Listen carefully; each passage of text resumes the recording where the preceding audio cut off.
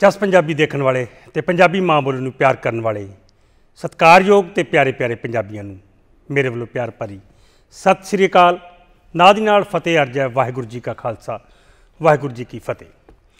ਪੂਰੀ ਦੁਨੀਆ ਵਿੱਚ ਬੈਠੇ ਪੰਜਾਬੀ ਜਾਣਦੇ ਨੇ ਕਿ ਜੂਨ ਦਾ ਜਿਹੜਾ ਹਫਤਾ ਹੁੰਦਾ ਸਾਡਾ ਪਹਿਲਾ ਇਹ, ਉਹ ਪੂਰੀ ਦੁਨੀਆ ਦੇ ਵਿੱਚ ਕਿੰਨੀ ਸ਼ਰਧਾ ਦੇ ਨਾਲ ਮਨਾਇਆ ਜਾਂਦਾ ਕੀ ਉਹਦੀ ਅਹਿਮੀਅਤ ਹੈਗੀ, ਇਹ ਸਾਨੂੰ ਸਾਰਿਆਂ ਨੂੰ ਪਤਾ ਹੈ, ਚੰਗੀ ਤਰ੍ਹਾਂ।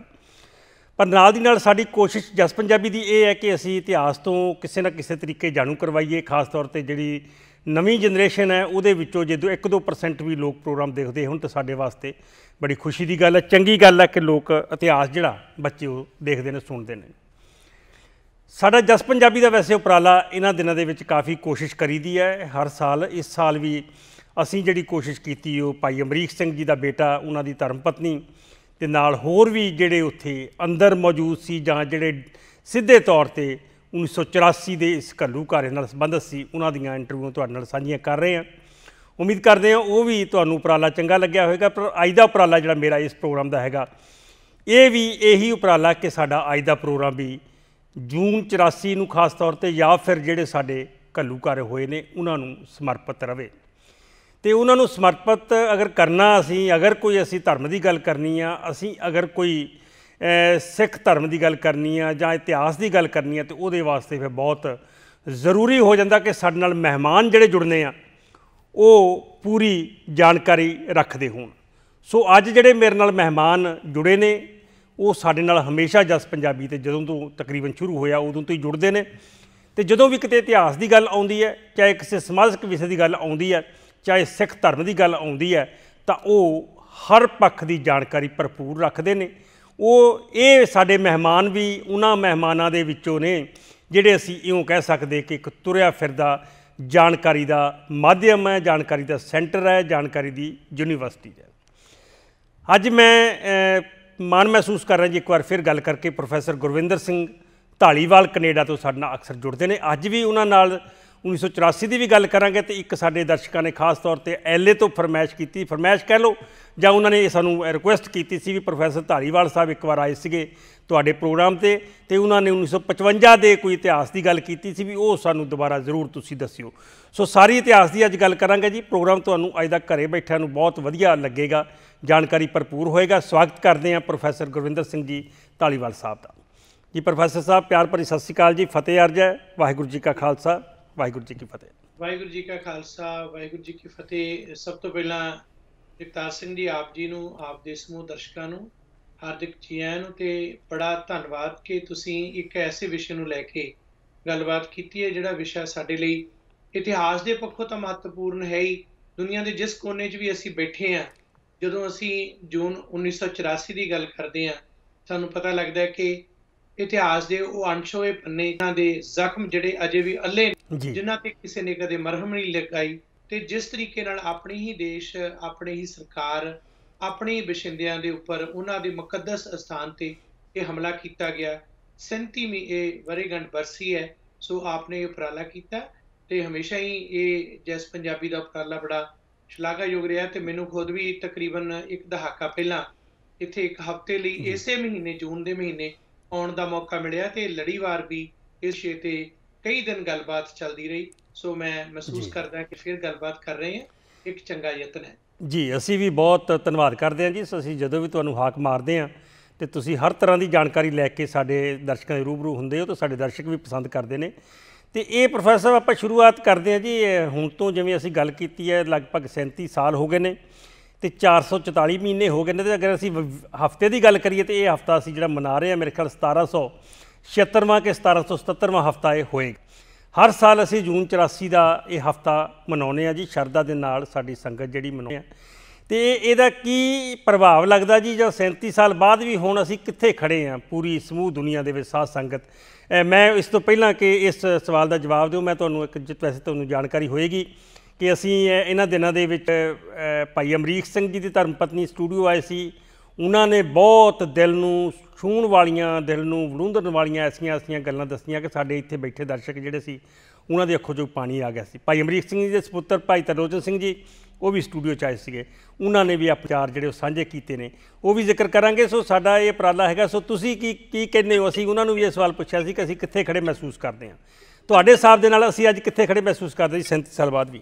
ਸਭ ਤੋਂ ਪਹਿਲੀ ਗੱਲ ਤਾਂ ਇਹ ਹੈ ਜੀ ਕਿ ਜਦੋਂ ਅਸੀਂ ਇਤਿਹਾਸ ਦੇ ਉਹਨਾਂ ਪਾਤਰਾਂ ਦੀ ਗੱਲ ਕਰਦੇ ਹਾਂ ਜਿਵੇਂ ਭਾਈ ਅਮਰੀਕ ਸਿੰਘ ਜੀ ਦੀ ਆਪ ਜੀ। ਗੱਲ ਕੀਤੀ ਜਾਂ ਸ਼ਹੀਦ ਭਾਈ ਸ਼ਾਬੇਗ ਸਿੰਘ ਜੀ ਹਾਂਜੀ ਸੰਤ ਜਰਨੈਲ ਸਿੰਘ ਭਿੰਡਰਾਂ ਵਾਲੇ ਜਾਂ ਅਨੇਕਾਂ ਹੀ ਹੋਰ ਜਿਹੜੇ ਉੱਥੇ ਦਰਬਾਰ ਸਾਹਿਬ ਵਿੱਚ ਸਨ ਜਾਂ ਫਿਰ ਇਸ ਦੇ ਨਾਲ ਗੁਰੂ ਅਰਜਨ ਸਾਹਿਬ ਦੇ ਜਿਹੜੇ ਸ਼ਹੀਦੀ ਪੁਰਬ ਤੇ ਜਿੱਥੇ ਸੰਗਤਾਂ ਵੱਡੀ ਤਾਦਾਦ ਦੇ ਵਿੱਚ ਦਰਸ਼ਨ ਕਰਨ ਗਈਆਂ ਸਨ ਐਨ ਉਸ ਵੇਲੇ ਜੋ ਮੌਕਾ ਚੁਣਿਆ ਗਿਆ ਭਾਰਤ ਦੀ ਸਰਕਾਰ ਦੇ ਵੱਲੋਂ ਤੇ ਹੁਕਮਰਾਨ ਸਰਕਾਰ ਦੇ ਨਾਲ ਫੌਜੀ ਜਿਹੜਾ ਅਟੈਕ ਕੀਤਾ ਗਿਆ। ਉਹ ਸਮਾਂ ਜਿਹੜਾ ਚੁਣਿਆ ਗਿਆ ਸਾਨੂੰ ਥੋੜਾ ਜਿਹਾ ਇਤਿਹਾਸਕ ਪਿਛੋਕੜ ਵੱਲ ਝਾਤੀ ਮਾਰਨੀ ਬੜੀ ਜ਼ਰੂਰੀ ਹੈ। ਜੀ। ਸੋ ਗੱਲ ਇਹ ਹੈ ਕਿ ਜਗਤਾਰ ਸਿੰਘ ਜੀ ਜਦੋਂ ਅਸੀਂ ਦੇਸ਼ ਦੀ ਵੰਡ ਦੀ ਗੱਲ ਕਰਦੇ ਹਾਂ ਤੇ ਕਈ 15 ਅਗਸਤ ਨੂੰ ਜਸ਼ਨ ਆਜ਼ਾਦੀ ਦੇ ਤੌਰ ਤੇ ਮਨਾਉਂਦੇ ਨੇ ਪਰ ਇਹ ਗੱਲ ਦੇਖਣੀ ਪੈਣੀ ਹੈ ਕਿ ਇਹ ਜਸ਼ਨ ਦੀ ਥਾਂ ਤੇ ਇੱਕ ਤਬਾਹੀ ਦਾ ਮੰਜ਼ਰ ਸੀ। ਜੀ। ਕਿਸ ਕਿਸਮ ਦਾ ਸੀ ਜਿਸ ਬਾਰੇ ਅਸੀਂ ਅੱਜ ਵੀ ਜਦੋਂ ਗੱਲ ਕਰੀਏ ਤਾਂ ਪਤਾ ਲੱਗਦਾ ਹੈ ਕਿ ਉਸ ਵੇਲੇ ਦੋ ਹਿੱਸਿਆਂ ਦੇ ਵਿੱਚ ਜਿਹੜੀਆਂ ਵੱਡੀਆਂ ਦੋ ਕੌਮਾਂ ਸਨ ਭਾਰਤ ਦੇ ਵਿੱਚ ਵਸਦੀਆਂ ਚਾਹੇ ਮੁਸਲਮਾਨ ਸਨ ਚਾਹੇ ਹਿੰਦੂ ਸਨ ਉਹਨਾਂ ਨੇ ਬਕਾਇਦਾ ਤੌਰ ਤੇ ਇਹ ਇੱਕ ਤਹੀਆ ਕੀਤਾ ਹੋਇਆ ਸੀ ਕਿ ਆਪਕੋ ਆਪਣਾ ਰਾਸ਼ਟਰ ਚਾਹੀਦਾ ਹੈ। ਜਿੰਨਾ ਕੁ ਮੁਸਲਿਮ ਲੀਗ ਦਾ ਇਸ ਤੇ ਜ਼ੋਰ ਲੱਗਿਆ ਸੀ ਉਨਾ ਹੀ ਆਰਐਸਐਸ ਤੇ ਹਿੰਦੂ ਰਾਸ਼ਟਰ ਬਣਾਉਣ ਦਾ ਜਿਹੜਾ ਉਹਨਾਂ ਹਿੰਦੂ ਤਵੀਆਂ ਦੇ ਵੱਲੋਂ ਜ਼ੋਰ ਲੱਗਿਆ ਸੀ ਜਿਹੜੇ ਕਿ ਇਸ ਗੱਲ ਨੂੰ ਨਰਮ ਖਿਆਲੀ ਕਾਂਗਰਸ ਦੇ ਤੌਰ ਤੇ ਘੱਟ ਤੇ ਆਰਐਸਐਸ ਦੇ ਤੌਰ ਤੇ ਵੱਧ ਅਗਾਂਹ ਵਰਤਦੇ ਸਨ। ਉਸ ਵੇਲੇ ਸਿੱਖ ਜਿਹੜੇ ਕਿ ਇੱਕ ਛੋਟੀ ਕੌਮ ਸੀ ਉਸ ਵੇਲੇ ਵਸਦੀ ਸੀ ਉਹਨਾਂ ਦਾ ਆਪਣਾ ਜਿਹੜਾ ਉਸ ਸਮੇਂ ਜਿਹੜਾ ਵਿਕਾਸ ਹੈ ਕਿੰਨਾ ਕੁ ਹੋਇਆ ਸੀ ਇਤਿਹਾਸ ਉਹਨਾਂ ਦਾ ਜੇ ਪਿੱਛੋਂ ਦੇਖੀਏ ਬੜਾ ਮਹਾਨ ਸੀ ਕਿਉਂਕਿ ਦਿੱਲੀ ਦੇ ਤਖਤ ਤੇ ਵੀ ਉਹਨਾਂ ਆਪਣਾ ਜਿਹੜਾ ਰਾਜ ਕੀਤਾ ਹੈ। ਉਸ ਤੋਂ ਪਹਿਲਾਂ ਬੰਦਾ ਸਿੰਘ ਬਹਾਦਰ ਨੇ ਖਾਲਸਾ ਰਾਜ ਸਿਰਜਿਆ। ਉਸੇ ਦੌਰਾਨ ਜੇ ਮਹਾਰਾਜਾ ਰਣਜੀਤ ਸਿੰਘ ਦਾ ਰਾਜ ਰਿਹਾ ਜਿਸ ਨੂੰ ਕਿ ਸਿੱਖ ਰਾਜ ਖਾਲਸਾ ਰਾਜ ਕਿਹਾ ਜਾਂਦਾ ਹੈ। ਜੀ। ਛੋਟੀ ਕੌਮ ਹੋਣ ਦੇ ਬਾਵਜੂਦ ਇੱਕ ਉਹਨਾਂ ਨੇ ਐਸਾ ਮਾਹੌਲ ਦਿੱਤਾ ਸੀ ਜਿਹੜਾ ਸੰਸਾਰ ਲਈ ਇੱਕ ਮਾਰਗਦਰਸ਼ਕ ਸੀ ਰਾਜਨੀਤਿਕ ਤੌਰ ਤੇ। ਪਰ ਹੋਇਆ ਇਹ ਕਿ ਇੱਕ ਸਮਾਂ ਇਹ ਆਇਆ ਕਿ ਆਜ਼ਾਦੀ ਦੀ ਲਹਿਰ ਦੇ ਵਿੱਚ ਅੰਗਰੇਜ਼ਾਂ ਨੂੰ ਕੱਢਣ ਲਈ ਸਭ ਤੋਂ ਵੱਧ ਸ਼ਹਾਦਤਾਂ ਸਿੱਖਾਂ ਨੇ ਦਿੱਤੀਆਂ। ਫਾਂਸੀ ਦੇ ਰੱਸੇ ਚੁੰਮੇ, ਉਹਨਾਂ ਕੁਰਬਾਨੀਆਂ ਕੀਤੀਆਂ ਜਿਹੜੇ ਥਾਂ ਥਾਂ ਤੇ ਗਦਰੀ ਬਾਬਿਆਂ ਦਾ ਇਤਿਹਾਸ ਪੜ੍ਹੀਏ, ਉਹਨਾਂ ਦੇ ਵਿੱਚ ਵੀ ਬਹੁਤ ਗਿਣਤੀ ਜਿਹੜੀ ਸੀ ਉਹਨਾਂ ਦੀ ਸੀ। ਕਾਮਾਗਾਟਾ ਮਾਰੂ ਗੁਰੂ ਨਾਨਕ ਜਹਾਜ਼ ਦੀ ਗੱਲ ਕਰੀਏ, ਵਿਦੇਸ਼ਾਂ ਦੀ ਧਰਤੀ ਤੋਂ ਸੰਘਰਸ਼ ਦੀ ਗੱਲ ਕਰੀਏ। ਪਰ ਜਦੋਂ ਸਮਾਂ ਆਇਆ, ਉਸ ਵੇਲੇ ਦੋ ਵੱਡੀਆਂ ਕੌਮਾਂ ਨੇ ਇਹ ਤਹੀਆ ਕਰ ਲਿਆ ਕਿ ਸਾਨੂੰ ਆਪੋ ਆਪਣਾ ਰਾਸ਼ਟਰ ਚਾਹੀਦਾ ਹੈ। ਤੇ ਸਿੱਖਾਂ ਦੀ ਲੀਡਰਸ਼ਿਪ ਦੀ ਨਾਅਹਲੀਅਤ ਕਹਿ ਲਓ ਜਾਂ ਉਹਨਾਂ ਦੇ ਵਿਕਾਸ ਦੀ ਸਥਿਤੀ ਇੰਨੀ ਕਹਿ ਲਓ ਜਾਂ ਜੀ। ਮੌਕਾ ਵੀ ਜਿਹੜਾ ਇਹ ਕਿਹਾ ਜਾਂਦਾ ਕਿ ਇਹੋ ਜਿਹਾ ਨਹੀਂ ਪ੍ਰਦਾਨ ਕੀਤਾ ਗਿਆ ਕਿ ਉਹ ਆਪਣੇ ਵੱਖਰੇ ਤੌਰ ਤੇ ਕੁਝ ਕਰ ਸਕਣ। ਹੋਇਆ ਇਹ ਕਿ ਉਸ ਵੇਲੇ ਦੀ ਜਿਹੜੀ ਭਾਰਤ ਦੀ ਲੀਡਰਸ਼ਿਪ ਸੀ ਜਿਨ੍ਹਾਂ ਦੇ ਵਿੱਚ ਮੋਹਨਦਾਸ ਕਰਮਚੰਦ ਗਾਂਧੀ ਜਵਾਹਰ ਲਾਲ ਨਹਿਰੂ ਜਾਂ ਹੋਰ ਉਹਨਾਂ ਨੇ ਕਿਹਾ ਕਿ ਉੱਤਰੀ ਭਾਰਤ ਦੇ ਵਿੱਚ ਇੱਕ ਐਸਾ ਖਿੱਤਾ ਹੋਏਗਾ ਜਿਹੜਾ ਕਿ ਤੁਹਾਡੇ ਲਈ ਮਹਿਫੂਜ਼ ਹੋਏਗਾ ਖੁਦ ਮੁਖਤਿਆਰੀ ਤੁਹਾਡੀ ਹੋਏਗੀ। ਤੁਸੀਂ ਇਸ ਸਾਡੇ ਮੁਲਕ ਦੇ ਹਿੱਸੇ ਦੇ ਵਜੋਂ ਇੱਥੇ ਹੀ ਰਹੋ। ਤੇ ਲੀਡਰਸ਼ਿਪ ਨੇ ਉਸ ਵੇਲੇ ਹਾਲਾਤ ਦੇਖ ਕੇ ਫੈਸਲਾ ਕੀਤਾ ਕਿਉਂਕਿ ਇਤਿਹਾਸ ਵਿੱਚ ਮੁਗਲਾਂ ਦੇ ਨਾਲ ਯੁੱਧਾਂ ਨੂੰ ਮੁਸਲਮਾਨ ਬਨਾਮ ਸਿੱਖ ਪੇਸ਼ ਕੀਤਾ ਜਾਂਦਾ ਸੀ ਕਿ ਜਿਹੜਾ ਇਤਿਹਾਸ ਦੀ ਗਲਤ ਬਿਰਤਾਂਤ ਨੈਰੇਟਿਵ ਸਿਰਜਣ ਦੀ ਸੀ। ਸੋ ਉਸ ਤੋਂ ਬਾਅਦ ਸਿੱਖਾਂ ਨੇ ਇਹ ਉਸ ਵੇਲੇ ਭਾਰਤ ਦੇ ਇਸ ਹਿੱਸੇ ਵੱਲ ਰਹਿਣ ਦਾ ਨਾ ਸਿਰਫ ਫੈਸਲਾ ਕੀਤਾ ਕੁਝ ਆਗੂਆਂ ਨੇ ਇਹ ਵੀ ਗਲਤੀ ਕੀਤੀ ਕਿ ਸਿੱਧਾ ਮੁਸਲਮਾਨ ਬਨਾਮ ਸਿੱਖ ਕਨਫਲਿਕਟ ਜਿਹੜਾ ਪੰਜਾਬ ਦੇ ਵਿੱਚ ਐਸਾ ਖੜਾ ਕਰ ਲਿਆ ਜਿਸ ਦੇ ਵਿੱਚ ਮੁਸਲਿਮ ਹਮਲਾਵਰਾਂ ਨੇ ਜਿਹੜੇ ਪਾਕਿਸਤਾਨ ਤੋਂ ਸਿੱਖ ਆ ਰਹੇ ਸਨ ਜਿੰਨੀ ਗਿਣਤੀ ਅੱਜ ਕਰੀਏ ਕਿ ਸਭ ਤੋਂ ਵੱਡਾ ਜੇ ਜਾਨੀ ਨੁਕਸਾਨ ਹੋਇਆ ਸੀ 47 ਵੇਲੇ 5 ਲੱਖ ਤੋਂ 10 ਲੱਖ ਤੱਕ ਕੁੱਲ ਜਾਨਾਂ ਗਈਆਂ ਜਿਨ੍ਹਾਂ ਚੋਂ ਅੱਧਿਓਂ ਵੱਧ ਸਿੱਖ ਸਨ। ਸੋ ਇੱਡਾ ਵੱਡਾ ਜਾਨੀ ਨੁਕਸਾਨ ਹੋਇਆ ਛੋਟੀ ਜੀ ਕੌਮ ਉਸ ਦਾ ਐਡਾ ਹਿੱਸਾ ਖਤਮ ਹੋ ਜਾਣਾ। ਪਰ ਫਿਰ ਵੀ ਜਿਹੜਾ ਭਾਰਤ ਦੇ ਇਸ ਹਿੱਸੇ ਵੱਲ ਜਿਸ ਨੂੰ ਕਿ ਹਿੰਦੁਸਤਾਨ ਕਿਹਾ ਜਾਣ ਲੱਗ ਪਿਆ ਜਦ ਕਿ ਉਹ ਇਹ ਇਸ ਦਾ ਨਾਂ ਤਾਂ ਸੰਵਿਧਾਨਕ ਨਾਂ ਹੈ ਨਾ ਕੁਝ ਵੀ ਹੈ ਪਰ ਮਨੋਬਿਰਤੀ ਇਹੀ ਸੀ ਇਸਲਾਮਿਕ ਸਟੇਟ ਆਫ ਪਾਕਿਸਤਾਨ ਦੂਸਰੇ ਪਾਸੇ ਹਿੰਦੁਸਤਾਨ। ਜਿਹੜਾ ਕਿ ਆਰਐਸਐਸ ਦਾ ਪਹਿਲਾਂ ਤੋਂ ਹੀ ਏਜੰਡਾ ਸੀ ਅੱਜ ਵੀ ਹੈ ਤੇ ਅੱਜ ਮੋਦੀ ਸਰਕਾਰ ਉਸ ਨੂੰ ਲਾਗੂ ਕਰਨ ਦੇ ਲਈ ਪੂਰੇ ਹਰ ਹਰਬੇ ਵਰਤ ਰਹੀ ਹੈ। ਜੀ। ਸੋ ਉਸ ਵੇਲੇ ਭਾਰਤ ਦੇ ਵਿੱਚ ਜਦੋਂ ਪੰਜਾਬ ਦੇ ਖਿੱਤੇ ਦੀ ਗੱਲ ਆਈ ਪੰਜਾਬ ਦੇ ਵਿੱਚ ਸਰਕਾਰ ਜਿਹੜੀ ਆਈ ਉਹਨੇ ਆਪਣੇ ਰੰਗ ਉਹਦੀ ਦਿਖਾਉਣੇ ਸ਼ੁਰੂ ਕਰ ਦਿੱਤੇ। ਜਦੋਂ ਪੰਜਾਬ ਦੇ ਵਿੱਚ ਗੋਪੀ ਚੰਦ ਭਾਰਗਵ ਦੀ ਸਰਕਾਰ ਬਣੀ ਤਾਂ ਉਹਨਾਂ ਨੇ ਮਹਾਸ਼ਾ ਪ੍ਰੈਸ ਦੇ ਰਾਹੀਂ ਤੇ ਖੁਦ ਸਰਕਾਰ ਨੇ ਭਾਸ਼ਾ ਦੇ ਤੌਰ ਤੇ ਪੰਜਾਬ ਨਾਲ ਵਿਤਕਰਾ ਸ਼ੁਰੂ ਕਰ ਦਿੱਤਾ ਜਿਵੇਂ ਕਿ ਪੰਜਾਬੀ ਕੇਵਲ ਸਿੱਖਾਂ ਦੀ ਹੀ ਭਾਸ਼ਾ ਹੋਵੇ ਜੀ। ਇਸ ਤਰ੍ਹਾਂ ਦਾ ਵਿਤਕਰਾ ਸ਼ੁਰੂ ਕਰਦਿਆਂ 1955 ਦਾ ਦੌਰ ਆਇਆ ਜਦੋਂ ਕਿ ਜਿਸ ਢੰਗ ਦੇ ਨਾਲ ਦਰਬਾਰ ਸਾਹਿਬ ਦੇ ਵਿੱਚ ਵੱਡੀ ਤਾਦਾਦ ਦੇ ਵਿੱਚ ਲੋਕ ਇਕੱਠੇ ਸਨ ਦੇਸ਼ ਦੀ ਵੰਡ ਤੋਂ ਬਾਅਦ ਦੇ ਹਾਲਾਤ ਸਨ ਭਾਸ਼ਾ ਤੇ ਆਪਣੀ ਜਿਹੜੀ ਖੁਦਮੁਖਤਿਆਰੀ ਦਾ ਜਿਹੜਾ ਉਸ ਵੇਲੇ ਚੱਲ ਰਿਹਾ ਸਰਗਰਮੀ ਦਾ ਆਧਾਰ ਸੀ ਉਸ ਵੇਲੇ ਹਮਲਾ ਕੀਤਾ ਗਿਆ ਜ਼ੁਬਾਨ ਤੇ ਪਛਾਣ ਦੀ ਗੱਲ ਕਰਨ ਵਾਲਿਆਂ ਤੇ ਵੀ ਇੱਕ ਦਰਬਾਰ ਸਾਹਿਬ ਤੇ ਉਹ ਪਹਿਲਾ ਹਮਲਾ ਸੀ ਜਿਹੜਾ ਇਤਿਹਾਸ ਦੇ ਵਿੱਚ 47 ਦੀ ਵੰਡ ਤੋਂ ਬਾਅਦ ਹੈ। ਇਸ ਤੋਂ ਪਹਿਲਾਂ ਜਦੋਂ ਅਹਿਮਦ ਸ਼ਾਹ ਅਬਦਾਲੀ ਨੇ 220 ਸਾਲ ਪਹਿਲਾਂ ਦਰਬਾਰ ਸਾਹਿਬ ਤੇ ਵੱਡਾ ਹਮਲਾ ਕੀਤਾ। ਉਸ ਤੋਂ ਬਾਅਦ 1984 ਦਾ ਜਿਹੜਾ ਇਤਿਹਾਸਕ ਘੱਲੂਘਰ ਹੈ, ਉਸ ਨੂੰ ਜ਼ਿਕਰ ਦੇ ਤੌਰ ਤੇ ਵਿਚਾਰਿਆ ਜਾਂਦਾ ਹੈ। ਪਰ 55 ਦੇ ਵਿੱਚ ਵੀ ਇਸ ਤਰ੍ਹਾਂ ਦਾ ਹਾਲਾਤ ਹੋਏ, ਏਡੀ ਵੱਡੀ ਤਦਾਦ ਦੇ ਵਿੱਚ ਹਮਲਾ ਹੋਇਆ, ਖੁਦ ਪੰਜਾਬ ਦੀ ਹੀ, ਭਾਰਤ ਸਰਕਾਰ ਦੀ ਉਸ ਵੇਲੇ ਦੀ ਜਿਹੜੀ ਰਾਜਨੀਤਿਕ ਢਾਂਚਾ ਸੀ ਉਸ ਨੇ ਸਿੱਖਾਂ ਨੂੰ ਦੁਸ਼ਮਣ ਬਣਾ ਦਿੱਤਾ। ਉਸ ਤੋਂ ਬਾਅਦ ਚਾਰਟ ਦੀ ਵੰਡ ਹੋਈ, ਫਿਰ ਜੋ ਹਾਲਾਤ ਹੋਏ, ਜਿਸ ਤਰੀਕੇ ਨਾਲ ਉਹ ਇੱਕ ਵਿਸ਼ਾ ਪੂਰਾ, ਇਸੇ ਦਾ ਹਿੱਸਾ ਪਾਣੀਆਂ ਦੀ ਵੰਡ ਦੀ ਗੱਲ ਚੱਲੀ ਤਾਂ ਉਸ ਨੂੰ ਵੀ ਇਉਂ ਪੇਸ਼ ਕੀਤਾ ਗਿਆ। ਸ਼ਾਇਦ ਇਹ ਸਿੱਖਾਂ ਦੀ ਮੰਗ ਹੈ ਜਦਕਿ ਕੁੱਲ ਪੰਜਾਬ ਦੀ ਮੰਗ ਸੀ। ਉਹ ਪਾਣੀ ਕੱਲੇ ਪੰਜਾਬ 'ਚ ਵਸਦੇ ਸਿੱਖਾਂ ਲਈ ਸਨ ਨਹੀਂ ਸਨ ਹਿੰਦੂ ਮੁਸਲਮਾਨ ਜਾਂ ਕੋਈ ਵੀ ਸਨ ਸਾਰਿਆਂ ਦੇ ਬਾਰੇ। ਪਰ ਕਿਉਂਕਿ ਇੱਕ ਕੌਮ ਹੈ ਜਿਸ ਦੇ ਅੰਦਰ ਮਾਰਸ਼ਲ ਹੈ ਭਾਵਨਾ ਹੈ ਇੱਕ ਨਾਬੜੀ ਦਾ ਇਤਿਹਾਸ ਰਿਹਾ ਜ਼ਬਰ ਦੇ ਖਿਲਾਫ ਡਟ ਜਾਣਾ ਕਿਸੇ ਲਈ ਸੀਸ ਦੇਣਾ ਗੁਰੂ ਤੇਗ ਬਹਾਦਰ ਜੀ ਦਾ 400 ਸਾਲਾ ਇਹ ਵਰਾ ਜਨ ਪ੍ਰਕਾਸ਼ ਸ਼ਤਾਬਦੀ ਦਾ। ਤੇ ਗੁਰੂ ਸਾਹਿਬ ਨੇ ਤਾਂ ਇਹ ਕਿਹਾ ਕਿ ਹਿੰਦੂ ਮਤ ਤੇ ਧਰਮ ਜਿਸ ਦੇ ਜਨੇਊ ਪਹਿਨਣ ਤੋਂ ਪਹਿਲੇ ਗੁਰੂ ਨਾਨਕ ਸਾਹਿਬ ਨੇ ਇਨਕਾਰ ਕਰ ਦਿੱਤਾ ਨੌਵੇਂ ਗੁਰੂ ਨਾਨਕ ਨੇ ਸ਼ਹੀਦੀ ਦਿੱਤੀ ਇਹ ਕਿਹਾ ਕਿ ਇਹਨਾਂ ਨੂੰ ਧਾਰਮਿਕ ਆਜ਼ਾਦੀ ਹੋਣੀ ਚਾਹੀਦੀ ਹੈ। ਪਰ ਅਖਿਰ ਧਰਮਤਾ ਦੀ ਮਿਸਾਲ ਕਿ ਪੰਜਾਬ ਦੇ ਵਿੱਚ ਉਸੇ ਹੀ ਪੰਜਾਬ ਦੇ ਵਿੱਚ ਸਿੱਖਾਂ ਦੇ ਉੱਪਰ ਜਿਸ ਤਰ੍ਹਾਂ ਦਾ ਇਹ ਤਸ਼ੱਦਦ ਹੋਇਆ ਤੇ ਜਦੋਂ 66 ਦੇ ਵਿੱਚ ਪੰਜਾਬੀ ਮੋਰਚਾ ਚੱਲਿਆ ਬਾਲ ਯੋਧੇ ਭਾਈ ਇੰਦਰਜੀਤ ਸਿੰਘ ਦੀ ਸ਼ਹਾਦਤ ਹੋਈ ਉਸ ਤੋਂ ਹੋਰ ਸ਼ਹਾਦਤਾਂ ਹੋਈਆਂ। ਪੰਜਾਬੀ ਜ਼ੁਬਾਨ ਜਿੰਦਾਬਾਦ ਦੇ ਨਾਰੇ ਤੇ ਵੀ ਸਰਕਾਰ ਨੇ ਪਾਬੰਦੀ ਲਾ ਦਿੱਤੀ। ਇਸ ਕਿਸਮ ਦੀ ਜਿਹੜੀ ਹੈ ਕਸਿਆਰੀ ਕਿਸਮ ਦੀ ਜਿਹੜੀ ਸੋਚ ਸੀ ਜਿਸ ਤਰ੍ਹਾਂ ਦੀ ਪ੍ਰਗਟਾਈ ਜਾ ਰਹੀ ਸੀ ਉਸ ਤੋਂ ਬਾਅਦ ਫਿਰ ਵੀ ਸਿੱਖਾਂ ਨੇ ਦੇਸ਼ ਦੇ ਕੁੱਲ ਵਿਕਾਸ ਦੇ ਵਿੱਚ ਜੋ ਹਿੱਸਾ ਪਾਇਆ ਤੇ ਦੇਸ਼ ਦੀ ਆਜ਼ਾਦੀ ਦੇ ਦੇਸ਼ ਦੀ ਵੰਡ ਤੋਂ ਬਾਅਦ ਵੀ ਜਿਹੜੀ ਸੁਤੰਤਰਤਾ ਦੇ ਸਹੀ ਅਰਥਾਂ ਦੇ ਵਿੱਚ ਗੱਲ ਕੀਤੀ ਉਹ 1975 ਦੇ ਵਿੱਚ ਸੀ। ਜਦੋਂ ਕਿ ਐਮਰਜੈਂਸੀ ਲੱਗੀ ਐਮਰਜੈਂਸੀ ਉਸ ਵੇਲੇ ਦੀ ਇੰਦਰਾ ਗਾਂਧੀ ਦੀ ਹਕੂਮਤ ਨੇ ਦੇਸ਼ ਭਰ ਦੇ ਵਿੱਚ ਲਾਈ। ਉਹ ਐਮਰਜੈਂਸੀ ਇੱਕ ਐਸਾ ਕਾਲਾ ਅਧਿਆਇ ਸੀ ਜਿਸ ਨੂੰ ਸਾਰੇ ਦੇਸ਼ ਦੇ ਵਾਸਤੇ ਸੰਗਤੀ ਪਰ ਸਭ ਤੋਂ ਵੱਧ ਗ੍ਰਿਫਤਾਰੀਆਂ ਪੰਜਾਬ ਤੋਂ। ਸਭ ਤੋਂ ਵੱਧ ਜੇਲ੍ਹਾਂ ਪੰਜਾਬੀਆਂ ਨੇ ਭਰੀਆਂ। ਸਭ ਤੋਂ ਵੱਧ ਕੁਰਬਾਨੀਆਂ ਦੇਣ ਲਈ ਸਿੱਖ ਅੱਗੇ ਆਏ। ਕਿਹੜੀ ਜਥੇਬੰਦੀ ਸੀ? ਅੱਜ ਦੇਖੋ ਜੇ ਅੱਜ ਜਿਨ੍ਹਾਂ ਨੂੰ ਇਹ ਕਹਿੰਦੇ ਆ ਕਿ ਦਰਬਾਰ ਸਾਹਿਬ ਸਨ ਦਮਦਕ ਸਾਲ ਦੀ ਗੱਲ ਕਰ ਲਓ ਜਾਂ ਅਕਾਲੀ ਦਲ ਦੀ ਗੱਲ ਕਰ ਲਓ ਜਾਂ ਸਿੱਖਾਂ ਦੀਆਂ ਬਾਕੀ ਜਥੇਬੰਦੀਆਂ ਦੀ ਗੱਲ ਕਰ ਲਓ ਜਾਂ ਹੋਰ ਵੀ ਉਹਨਾਂ ਨੇ ਅੱਗੇ ਹੋ ਕੇ ਰੋਲ ਨਿਭਾਇਆ। ਇਹ ਨਹੀਂ ਸੋਚਿਆ ਕਿ ਇਸ ਦੇ ਵਿੱਚ ਸਾਨੂੰ ਆਪਣਾ ਹਿੱਸਾ ਹੀ ਪਾਉਣਾ ਚਾਹੀਦਾ ਜਿੰਨਾ ਬਣਦਾ। ਨਹੀਂ ਸਭ ਤੋਂ ਮੋਰੀ ਹੋ ਕੇ। ਤੇ ਇਸੇ ਕਾਰਨ ਇਹ ਬਦਲਾ ਲਊ ਰਾਜਨੀਤੀ ਜਿਹੜੀ ਸੀ ਕੇਂਦਰ ਦੇ ਅੰਦਰ ਬੈਠੀ। 78 ਦੇ ਵਿੱਚ ਚਾਹੇ ਪੰਜਾਬ ਦੇ ਵਿੱਚ ਅਕਾਲੀ ਦਲ ਦੀ ਪ੍ਰਕਾਸ਼ ਸਿੰਘ ਬਾਦਲ ਦੀ ਸਰਕਾਰ ਸੀ ਪਰ ਮਿੱਥ ਕੇ ਕੇਂਦਰ ਦੇ ਵਿੱਚੋਂ ਜਿਸ ਤਰ੍ਹਾਂ ਦਿੱਲੀ ਦੇ ਵਿੱਚ ਇੱਕ ਪਖੰਡੀ ਸਾਧ ਜਿਹੜਾ ਨਿਰੰਕਾਰੀ ਉਸਨੇ ਟਕਵਾਂਜਰ ਜਾਇਆ ਸੀ। ਗੁਰੂ ਸਾਹਿਬ ਦੇ ਪੈਰਲਲ ਜਿਹੜਾ ਆਪਣਾ ਇੱਕ ਉਲਿਕਿਆ ਹਾਊਸ ਦਾ ਪ੍ਰੋਗਰਾਮ ਸੀ ਜਿਸ ਦੇ ਵਿੱਚ ਪੰਜ ਪਿਆਰੇ ਦੇ ਸੱਤ ਸਿਤਾਰੇ ਵਰਗਾ ਜਿਹੜਾ ਅੱਜ ਜਿਹੜਾ ਸਰਸੇ ਵਾਲੇ ਸਾਧ ਨੇ ਜੋ ਪਖੰਡ ਕੀਤੇ ਇਹ ਪਖੰਡ ਉਸਨੇ ਵੀ ਕੀਤੇ। ਸਿੱਖਾਂ ਨੇ ਵਿਰੋਧ ਕੀਤਾ ਉਲਟਾ ਸਿੱਖਾਂ ਨੂੰ ਹੀ ਦੋਸ਼ੀ ਮੰਨਿਆ ਗਿਆ ਤੇ ਆਪਣੀ ਹੀ ਸਰਕਾਰ ਹੋਵੇ ਪਰ ਉਸ ਵੇਲੇ ਸਿੱਖਾਂ ਦੇ ਅੰਮ੍ਰਿਤਸਰ ਦੇ ਵਿੱਚ ਜੋ ਹਮਲਾ ਹੋਇਆ ਸ਼ਹਾਦਤਾਂ ਹੋਈਆਂ ਉਹਨਾਂ ਨੇ ਇਹ ਮੁੱਢ ਬੰਨਿਆ ਜੋ ਪੰਜਾਬ ਦੇ ਵਿੱਚ ਹਾਲਾਤ ਬਣੇ। ਜਬੇ ਬਣ ਲੱਗਿਓ ਤਬੇ ਰੂਸ ਜਾਗਿਓ। ਉਸ ਤੋਂ ਬਾਅਦ ਜਿਹੜੀ ਸ਼ਹਾਦਤ ਦੇ ਇਸ ਰਸਤੇ ਚੱਲਣ ਵਾਲੇ ਜਿਹੜੇ ਜਹਾਰੂ ਸਨ ਜਿਨ੍ਹਾਂ ਦੇ ਅੰਦਰ ਇਸ ਗੱਲ ਦਾ ਸੀ ਕਿ ਗੁਰੂ ਗ੍ਰੰਥ ਸਾਹਿਬ ਦਾ ਅਪਮਾਨ ਹੋਇਆ ਜੋ ਹਾਲਾਤ ਹੋਏ ਹਾਲਾਂਕਿ ਇਹ ਨਿਰੰਕਾਰੀ ਸਾਥ ਜਿਹੜਾ ਸੋਧਿਆ ਗਿਆ ਬਾਅਦ ਚ ਪਰ ਸਿੱਖਾਂ ਦੇ ਜ਼ਖਮ ਅੱਲੇ ਸਨ ਉਹਨਾਂ ਨੇ ਇਸ ਗੱਲ ਦੇ ਲਈ ਇਸ ਇਨਸਾਫ ਮੰਗਿਆ। ਇਨਸਾਫ ਮਿਲਣ ਦੀ ਥਾਂ ਤੇ ਕੀ ਹੋਇਆ? 1982 ਦੇ ਵਿੱਚ ਭਾਰਤ ਦੇ ਵਿੱਚ ਏਸ਼ੀਆਈ ਖੇਡਾਂ ਹੋਈਆਂ। ਉਹਨਾਂ ਖੇਡਾਂ ਦੇ ਵਿੱਚ ਸਿੱਖਾਂ ਨੂੰ ਦੇਸ਼ ਦੇ ਬਸ਼ਿੰਦਿਆਂ ਨੂੰ ਹੀ ਪੰਜਾਬ ਪਾਰ ਕਰਨਾ ਦਿੱਤਾ ਗਿਆ। ਇਹ ਕਿਹਾ ਗਿਆ ਕਿ ਇਹਨਾਂ ਤੇ ਹਰ ਤਰ੍ਹਾਂ ਦੀ ਪਾਬੰਦੀ ਰੋਕ ਲਾਈ। ਤੇ ਉਸ ਰੋਕ ਦੇ ਵਿੱਚ ਹੀ ਉਸ ਵੇਲੇ ਦਾ ਬੀਜੇਪੀ ਆਰਐਸਐਸ ਦੇ ਏਜੰਡੇ ਤੇ ਕੰਮ ਕਰਨ ਵਾਲੇ ਭਜਨ ਲਾਲ ਕਾਂਗਰਸੀ ਸਨ। ਜੋ ਉਹਨਾਂ ਨੇ ਦਿੱਲੀ ਦੇ ਵਿੱਚ ਜੋ ਸਿੱਖਾਂ ਦੇ ਨਾਲ ਹੋਇਆ ਉਹ ਉਹੀ ਸੀ ਜਿਹੜਾ ਅੱਜ ਪੰਜਾਬ ਤੋਂ ਆਏ ਕਿਸਾਨਾਂ ਨਾਲ ਹੋ ਰਿਹਾ। ਇਹ ਇਤਿਹਾਸ ਉਦੋਂ ਪਹਿਲੀ ਵਾਰ ਦੁਹਰਾਇਆ ਗਿਆ ਸੀ। ਜਿਸ ਤਰੀਕੇ ਦੇ ਨਾਲ ਇਹ ਗੱਲ ਹੋਈ ਅੱਜ ਜਦੋਂ ਅਸੀਂ ਦੇਖਦੇ ਹਾਂ ਕਿ ਅਨੰਦਪੁਰ ਸਾਹਿਬ ਦਾ ਮਤਾ ਜਦੋਂ ਪੰਜਾਬ 'ਚ ਆਇਆ ਪੰਜਾਬ ਦੀ ਆਰਐਸਐਸ ਏਜੰਸੀ ਜਾਂ ਹੋਰ ਜਿਨ੍ਹਾਂ ਦੇ ਵਿੱਚ ਕਾਂਗਰਸ ਹੈ ਉਹਨਾਂ ਨੇ ਤਾਂ ਵਿਰੋਧ ਕਰਨਾ ਹੀ ਸੀ। ਜਿਹੜੇ ਅਗਾਹ ਵਧੂ ਆਪਣੇ ਆਪ ਨੂੰ ਸੀਪੀਆਈ ਸੀਪੀਐਮ ਖੱਬੇ ਪੱਖੀ ਕਹਿੰਦੇ ਨੇ ਇਹਨਾਂ ਨੇ ਵੀ ਉਲਟਾ ਇਹ ਸਾਰੇ ਮਤੇ ਨੂੰ ਸਿੱਖਾਂ ਨਾਲ ਜੋੜ ਜਦ ਕਿ ਪੂਰਾ ਆਨੰਦਪੁਰ ਦਾ ਮਤਾ ਪੰਜਾਬ ਦੀ ਖੁਦ ਮੁਖਤਿਆਰੀ ਦਾ ਸੀ। ਬਾਕੀ ਰਾਜਾਂ ਦੀ ਖੁਦ ਮੁਖਤਿਆਰੀ ਦਾ ਵੀ ਸੀ। ਭਾਸ਼ਾ ਦੇ ਆਧਾਰ ਤੇ ਵੀ ਆਜ਼ਾਦੀ ਦਾ ਸੀ। ਜਿਸ ਤਰ੍ਹਾਂ ਤੁਸੀਂ ਅਮਰੀਕਾ 'ਚ ਰਹਿੰਦੇ ਹੋ ਜਿਹੜੇ ਯੂਨਾਈਟਿਡ ਸਟੇਟਸ ਨੇ ਸਾਰੀਆਂ ਜਾਂ ਅਸੀਂ ਕੈਨੇਡਾ 'ਚ ਰਹਿੰਦੇ ਆ ਇੱਥੇ ਅਸੀਂ ਪ੍ਰੋਵਿੰਸ ਨੇ ਆ ਉਸੇ ਤਰ੍ਹਾਂ ਦੀ। ਇਸੇ ਦੇ ਨਾਲ ਹੀ ਉਸ ਵੇਲੇ ਪਾਣੀਆਂ ਦੀ ਗੱਲ ਚੱਲੀ।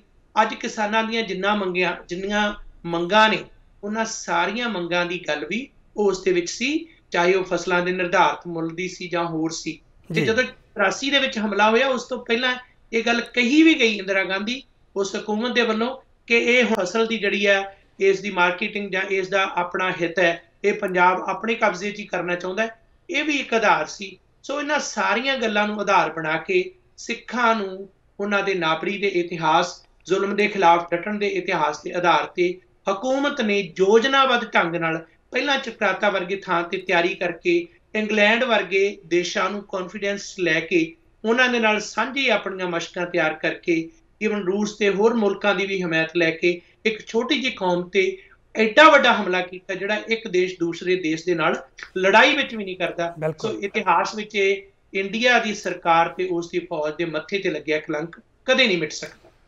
ਪ੍ਰੋਫੈਸਰ ਬਹੁਤ ਵਧੀਆ ਗੱਲ ਚੱਲ ਰਹੀ ਮੇਰਾ ਵੀ ਪੂਰਾ ਧਿਆਨ ਤੁਹਾਡੇ ਵਿੱਚ ਹੀ ਸੀਗਾ ਤੇ ਬ੍ਰੇਕ ਇੱਕ ਲੈਣੀ ਪੈਗੀ ਸਾਨੂੰ ਵਿੱਚ ਅਸੀਂ ਕੋਸ਼ਿਸ਼ ਕਰਾਂਗੇ ਅੱਜ ਬ੍ਰੇਕਾਂ ਘੱਟ ਲਈਏ। ਲਗਾਤਾਰ ਜਿਹੜਾ ਸਾਡੇ ਦਰਸ਼ਕ ਨੇ ਇਤਿਹਾਸ ਦਾ ਆਨੰਦ ਮਾਣ ਸਕਣ। ਬਹੁਤ ਵਧੀਆ ਗੱਲ ਚੱਲ ਰਹੀ ਹੈ ਜੀ ਤੇ ਨਾਲ ਨਾਲ ਪ੍ਰੋਫੈਸਰ ਗੁਰਿੰਦਰ ਸਿੰਘ ਜੀ ਸਾਡੇ ਨਾਲ ਇਸ ਤਰ੍ਹਾਂ ਜੁੜੇ ਹੋਏ ਨੇ ਤੇ ਦਰਸ਼ਕ ਵੀ ਇਸ ਤਰ੍ਹਾਂ ਜੁੜੇ ਨੇ। ਛੋਟੀ ਜਿਹੀ ਬ੍ਰੇਕ ਤੋਂ ਬਾਅਦ ਫਿਰ ਪ੍ਰੋਫੈਸਰ ਸਾਹਿਬ ਨਾਲ ਜੁੜਾਂਗੇ ਤੇ ਲਵਾਂਗੇ ਹੋਰ ਢੇਰ ਸਾਰੀ ਜਾਣਕਾਰੀ ਇਤਿਹਾਸ ਦੀ। ਦੇਖਦੇ ਰਹੋ ਜਸ ਪੰਜਾਬੀ।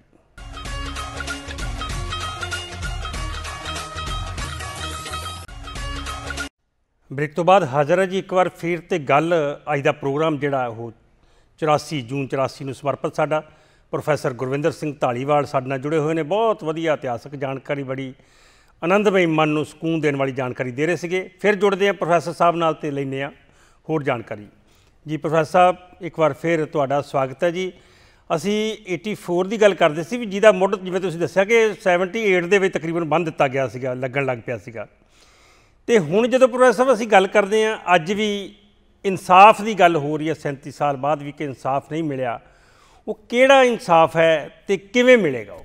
ਜਿਸ ਤਰੀਕੇ ਨਾਲ ਗੱਲ ਇਤਿਹਾਸ ਦੀ ਹੈ ਇਤਿਹਾਸ ਦੇ ਵਿੱਚ ਜੋ ਵਾਕਿਆ ਹੋਇਆ ਕਿਹਾ ਜਾਂਦਾ ਹੈ ਕਿ ਉਹ ਇਤਿਹਾਸ ਇੱਕ ਕਸੌਟੀ ਹੁੰਦੀ ਹੈ ਉਸ ਤੋਂ ਬਾਅਦ ਹੀ ਪਤਾ ਲੱਗਦਾ ਹੈ ਕਿ ਜਿਹੜਾ ਸੰਘਰਸ਼ ਕੀ ਹੈ ਉਸ ਦੀ ਪਰਿਭਾਸ਼ਾ ਜਿਹੜੀ ਹੈ ਕੀ ਬਣਦੀ ਹੈ ਉਸ ਦੇ ਇਨਸਾਫ ਦੀ ਮੰਗ ਕੀ ਹੈ। ਜੀ। ਪਹਿਲੀ ਗੱਲ ਤਾਂ ਮੈਂ ਇਸ ਤੋਂ ਪਹਿਲਾਂ ਕਿ ਕੁਝ ਗੱਲ ਕਹਾਂ।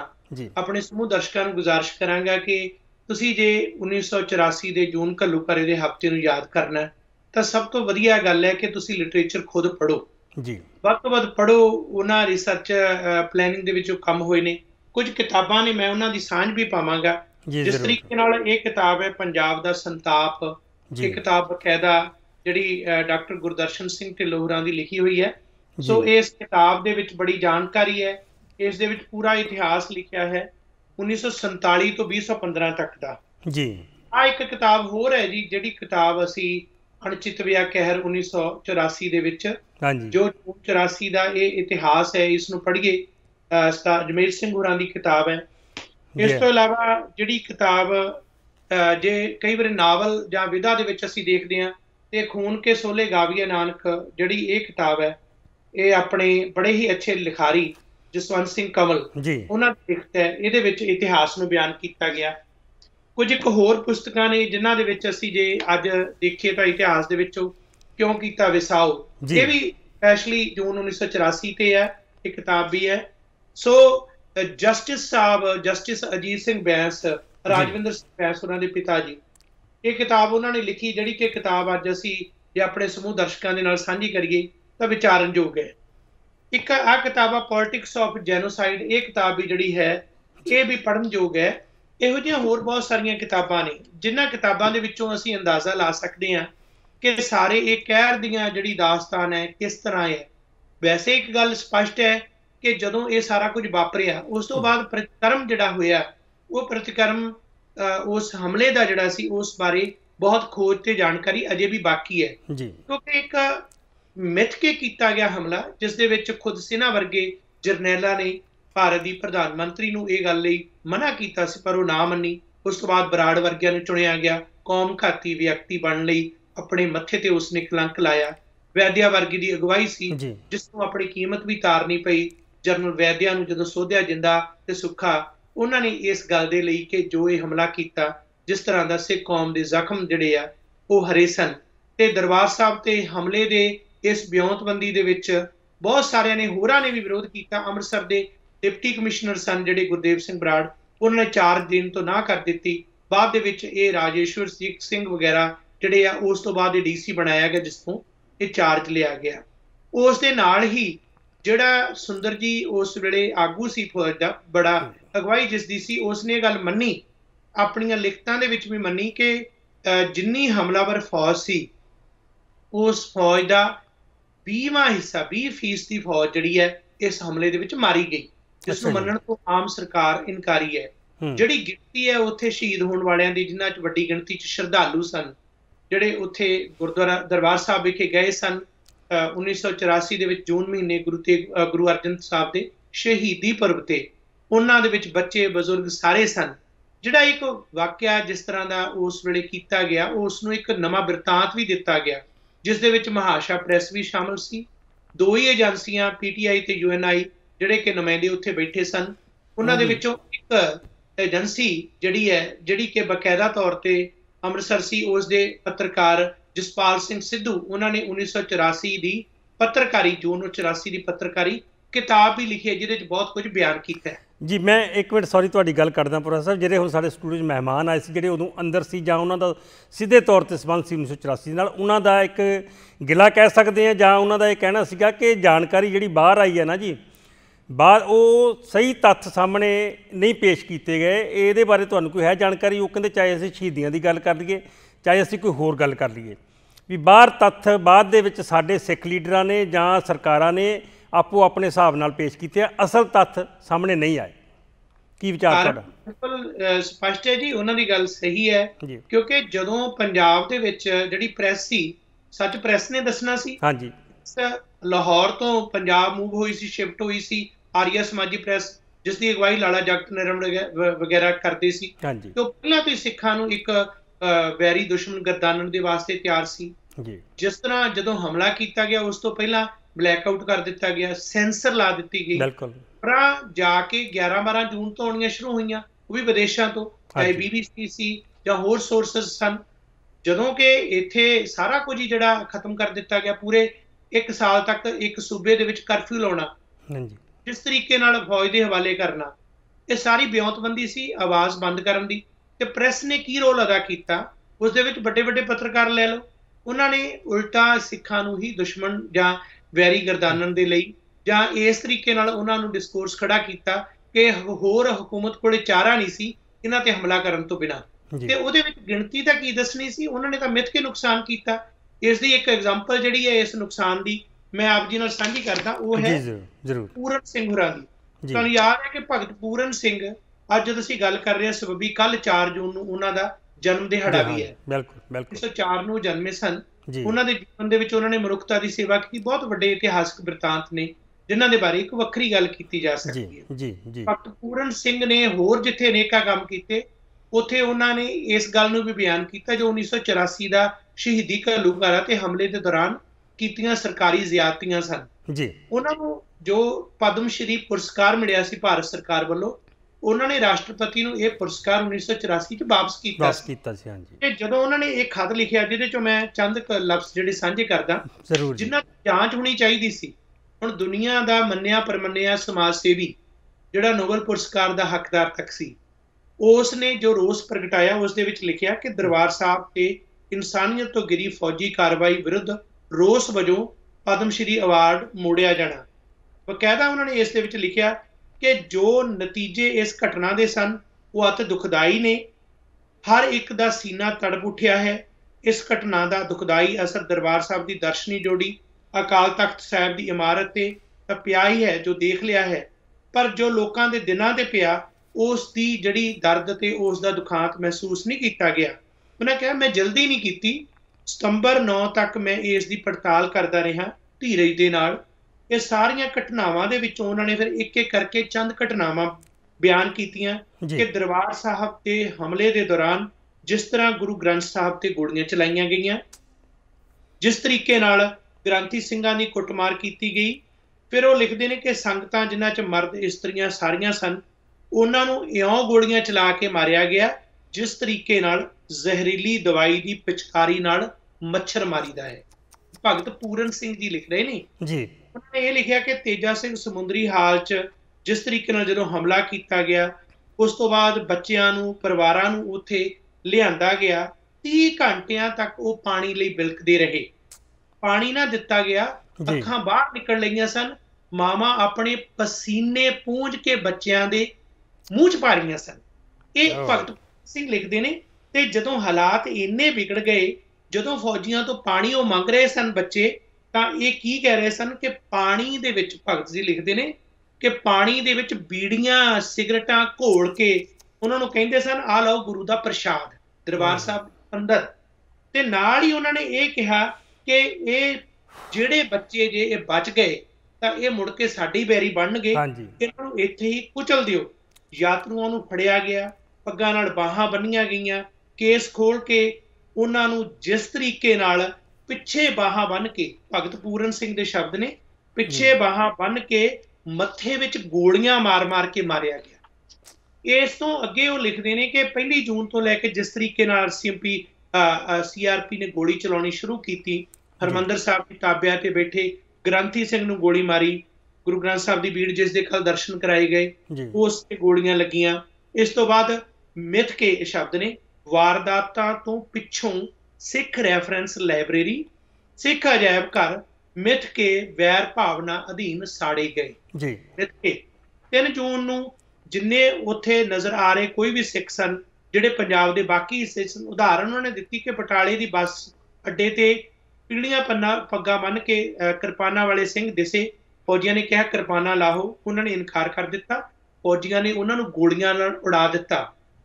ਭਗਤ ਪੂਰਨ ਸਿੰਘ ਇਹ ਲਿਖਦੇ ਨੇ ਕਿ ਇਸੇ ਤਰ੍ਹਾਂ ਨਾਲ ਗੁਟਮਾਲਾ ਦੇ ਵਿੱਚ ਜੇਲ੍ਹ ਦੇ ਲਾਗੇ ਇੱਕ ਨਿਹੰਗ ਨੂੰ ਗੋਲੀ ਇਸ ਕਰਕੇ ਮਾਰੀ ਗਈ ਕਿਉਂਕਿ ਉਸਨੇ ਆਪਣੀ ਕਿਰਪਾਨ ਉਤਾਰਨ ਤੋਂ ਇਨਕਾਰ ਕਰ ਦਿੱਤਾ। ਉਸ ਤੋਂ ਬਾਅਦ ਇੱਥੋਂ ਤੱਕ ਕਿ ਜਿੱਥੇ ਵੀ ਕੋਈ ਕੇਸਰੀ ਦਸਤਾਰ ਵਾਲਾ ਨਜ਼ਰ ਆਉਂਦਾ ਸੀ ਜਾਂ ਕੋਈ ਹੋਰ ਨੀਲੀ ਦਸਤਾਰ ਵਾਲਾ ਉਸ ਨੂੰ ਹਮਲੇ ਦੇ ਵਿੱਚ ਲਿਆਂਦਾ ਗਿਆ ਤੇ ਉਸ ਤੇ ਹਮਲਾ ਕਰਕੇ ਉਸ ਨੂੰ ਜਿਸ ਤਰੀਕੇ ਨਾਲ ਜਲੀਲ ਕੀਤਾ ਗਿਆ ਇਹਦੇ ਇਹਦੇ ਵਿੱਚ ਅੱਗੇ ਜਾ ਕੇ ਉਹਨਾਂ ਨੇ ਲਿਖਿਆ ਕਿ ਦਰਬਾਰ ਸਾਹਿਬ ਦੇ ਵਿੱਚ ਜਿਸ ਤਰੀਕੇ ਨਾਲ ਇਹ ਜ਼ਬਰ ਜ਼ੁਲਮ ਤਸ਼ੱਦਦ ਹੋਇਆ, ਉਸ ਤੋਂ ਬਾਅਦ ਮੈਂ ਇਹ ਕਹਿਣ ਲਈ ਮਜਬੂਰ ਹਾਂ ਕਿ ਫੌਜ ਨੇ ਇਖਲਾਕੀ ਗਿਰਾਵਟ ਦਾ ਸਬੂਤ ਦਿੱਤਾ, ਬੈਰ ਭਾਵਨਾ ਨਾਲ ਇਸ ਤਰ੍ਹਾਂ ਕਾਰਵਾਈ ਕੀਤੀ, ਜਿਸ ਤਰੀਕੇ ਨਾਲ ਸਿੱਖਾਂ ਦਾ ਖੁਰਾ ਖੋਜ ਮਿਟਾ ਦੇਣਾ ਹੋਵੇ। ਫੌਜੀ ਐਕਸ਼ਨ ਤੋਂ ਪਿੱਛੋਂ ਪਿੰਡਾਂ ਵਿੱਚ ਨੌਜਵਾਨਾਂ ਨੂੰ ਤੰਗ ਕੀਤਾ ਗਿਆ। ਉਪਰੋਕਤ ਅਸਲੀਅਤ ਤੋਂ ਇਲਾਵਾ ਇਹ ਸ਼ਬਦ ਸੁਣਨ ਵਾਲੇ ਨੇ ਭਗਤੀ ਜੀ ਦੇ। ਬਿਲਕੁਲ ਬਿਲਕੁਲ। ਉਪਰੋਕਤ ਅਸਲੀਅਤ ਤੋਂ ਇਲਾਵਾ ਕੁਝ ਐਸੀਆਂ ਸ਼ਰਮਨਾਕ ਘਟਨਾਵਾਂ ਬਾਰੇ ਜਾਣਕਾਰੀ ਮਿਲੀ ਹੈ ਜਿਸ ਨੂੰ ਲਿਖਣ ਲਈ ਤਹਿਜ਼ੀਬ ਇਜਾਜ਼ਤ ਨਹੀਂ ਦਿੰਦੀ। ਅਖੀਰ ਚੋਂ ਲਿਖਦੇ ਨੇ ਮੈਂ ਅਜਿਹੇ ਹਾਲਾਤ ਦੇਖ ਸੁਣ ਕੇ ਸਰਕਾਰ ਨੂੰ ਆਪਣਾ ਰੋਸ ਪ੍ਰਗਟ ਕਰਨ ਲਈ ਪਦਮ ਸ਼੍ਰੀ ਅਵਾਰਡ ਵਾਪਸ ਕਰਦਾ ਹਾਂ ਭਗਤ ਪੂਰਨ ਸਿੰਘ। ਇਹ ਇੱਕ ਉਦਾਹਰਨ ਹੈ। ਚਾਹੀਦਾ ਸੀ ਇਸ ਤੇ ਜਾਂਚ ਹੁੰਦੀ ਇਹ ਕੱਲੇ-ਕੱਲੇ ਹਵਾਲੇ ਦਿੱਤੇ ਨੇ ਉਹਨਾਂ ਦੀ ਪੜਤਾਲ ਹੁੰਦੀ। ਪਰ ਜਿਹੜੇ ਹਮਲਾਵਰ ਨੇ ਉਹਨਾਂ ਤੋਂ ਇਨਸਾਫ ਦੀ ਆਸ ਉਹ ਤਾਂ ਖੁਦ ਤਬਾਹੀ ਕਰ ਰਹੇ ਨੇ। ਤੇ ਭਗਤ ਸਿੰਘ ਦਾ ਭਗਤ ਜੀ ਦਾ ਦਿਲ ਉਹਨਾਂ ਦੇ ਚਲਾਣੇ ਤੱਕ ਇੰਨਾ ਬਲੁੰਦਰਿਆ ਗਿਆ ਸੀ ਕਿ ਉਹ ਮਾਨਸਿਕ ਤੌਰ ਤੇ ਇਸ ਘਟਨਾ ਤੋਂ ਬਾਅਦ ਇੰਨੇ ਜ਼ਿਆਦਾ ਪਰੇਸ਼ਾਨ ਹੋ ਗਏ ਸਨ। ਆਤਮਿਕ ਤੌਰ ਤੇ ਉਹਨਾਂ ਨੂੰ ਏਡੀ ਵੱਡੀ ਸੱਟ ਵੱਜੀ ਸੀ ਜਿਹੜੀ ਬਿਆਨ ਨਹੀਂ ਕੀਤੀ ਜਾ ਸਕਦੀ। ਲੱਖਾਂ ਐਸੇ ਹੋਰ ਹਿਰਦੇ ਨੇ ਪਰ। ਉਹਨਾਂ ਚੋਂ ਇੱਕ ਉਦਾਹਰਨ ਹੈ। ਇਹ ਸਿਰਫ ਇੱਕ ਉਦਾਹਰਨ ਹੈ ਜੀ ਔਰ ਇਹ ਗੱਲ ਸਾਡੇ ਦਰਸ਼ਕਾਂ ਨੂੰ ਵੀ ਤੇ ਮੈਨੂੰ ਵੀ ਇੱਥੇ ਬੈਠੇ ਨੂੰ ਸੁਣਨੀ ਕਿੰਨੀ ਔਖੀ ਲੱਗਦੀ ਆ। ਕਿੱਡਾ ਵੱਡਾ ਜਿਗਰਾ ਚਾਹੀਦਾ ਸਿਰਫ ਸੁਣਨ ਵਾਸਤੇ। ਤੇ ਜਿਹੜੇ ਜਿਨ੍ਹਾਂ ਤੇ ਵਾਪਰਿਆ ਹੈ ਜਾਂ ਜਿਨ੍ਹਾਂ ਨੇ ਉੱਥੇ ਦੇਖਿਆ ਤੇ ਉਹਨਾਂ ਦਾ ਕੀ ਹਾਲ ਹੋਏਗਾ ਪ੍ਰੋਫੈਸਰ? ਬੜੀ ਸੋਚ ਕੇ ਹੀ ਮਤਲਬ ਮਨ ਐਨ ਕੰਬ ਜਾਂਦਾ ਹੈ। ਤੁਹਾਨੂੰ ਇੱਕ ਉਦਾਹਰਨ ਦਿੰਨੇ ਜੀ ਤੁਸੀਂ ਦੇਖੋ ਕਿ ਉਸ ਵੇਲੇ ਵਿਦੇਸ਼ਾਂ ਦੇ ਵਿੱਚ ਜਿਹੜੇ ਲੋਕ ਸਨ ਚਾਹੇ ਅੱਜ ਰਾਜਨੀਤਿਕ ਤੌਰ ਤੇ ਮੈਂ ਸਹਿਮਤ ਨਹੀਂ ਉਹਨਾਂ ਨਾਲ ਜੋ। ਕਾਰਵਾਈਆਂ ਕਰ ਰਹੇ ਨੇ ਪਰ ਉਸ ਵੇਲੇ ਜ਼ਰੂਰ ਇਹ ਅਸਰ ਹੋਇਆ ਕਿ ਵਿਦੇਸ਼ਾਂ 'ਚ ਜਿੱਥੇ-ਜਿੱਥੇ ਵੀ ਸਿੱਖ ਅਫਸਰ ਵੀ ਸਨ ਜਿਨ੍ਹਾਂ ਚੋਂ ਵੱਖ-ਵੱਖ ਦੂਤਾਂ ਦੇ ਵਿੱਚ ਦੂਤ ਘਰਾਂ ਦੇ ਵਿੱਚ ਚਾਹੇ ਹਰਿੰਦਰ ਸਿੰਘ ਖਾਲਸਾ ਉਹ ਉਸ ਵੇਲੇ ਨਾਰਵੇ ਦੇ ਵਿੱਚ ਸਨ ਦੂਤ ਘਰ ਦੇ ਵਿੱਚ ਸਨ। ਉਹਨਾਂ ਨੇ ਅਹੁਦਾ ਛੱਡਿਆ ਨੌਕਰੀ ਛੱਡੀ। ਪੰਜਾਬ ਦੇ ਵਿੱਚ ਸਰਕਾਰੀ ਪੱਧਰ ਤੇ ਬਹੁਤ ਸਾਰੇ ਸਨ ਜਿਨ੍ਹਾਂ ਨੇ ਨੌਕਰੀਆਂ ਛੱਡੀਆਂ। ਅਮਰਿੰਦਰ ਸਿੰਘ ਨੇ ਉਸ ਵੇਲੇ ਆਪਣਾ ਜਿਹੜਾ ਰਾਜਨੀਤਿਕ ਤੌਰ ਤੇ ਜਿਹੜਾ ਹੈ ਉਸ ਵੇਲੇ ਆਪਣੀ ਸੀਟ ਛੱਡੀ। ਬੇਸ਼ੱਕ ਅੱਜ ਜੂਨ 3 ਦਾ ਇਹ ਸਮਾਂ ਅੱਜ। ਉਹਨਾਂ ਨੂੰ ਯਾਦ ਨਹੀਂ ਹੋਏਗਾ ਕਿਉਂਕਿ ਰਾਜਨੀਤਿਕ ਤੌਰ ਤੇ ਹਿਤਪ੍ਰਸਤੀ ਦੇ ਵਿੱਚ ਅੱਜ ਕਿਸੇ ਵੀ ਕਿਸਮ ਦਾ ਜਿਹੜਾ ਹੈ ਜੂਨ 84 ਦਾ ਨਾਂ ਤਾਂ ਪੰਜਾਬ ਦੀ ਵਿਧਾਨ ਸਭਾ ਦੇ ਵਿੱਚ ਕਦੇ ਮਤਾ ਲਿਆ ਕੇ ਮੋਸ਼ਨ ਲਿਆ ਕੇ ਇਸ ਤੇ ਇਸ ਨਿਖੇਧੀ ਦਾ ਮਤਾ ਪਾਸ ਕੀਤਾ ਗਿਆ।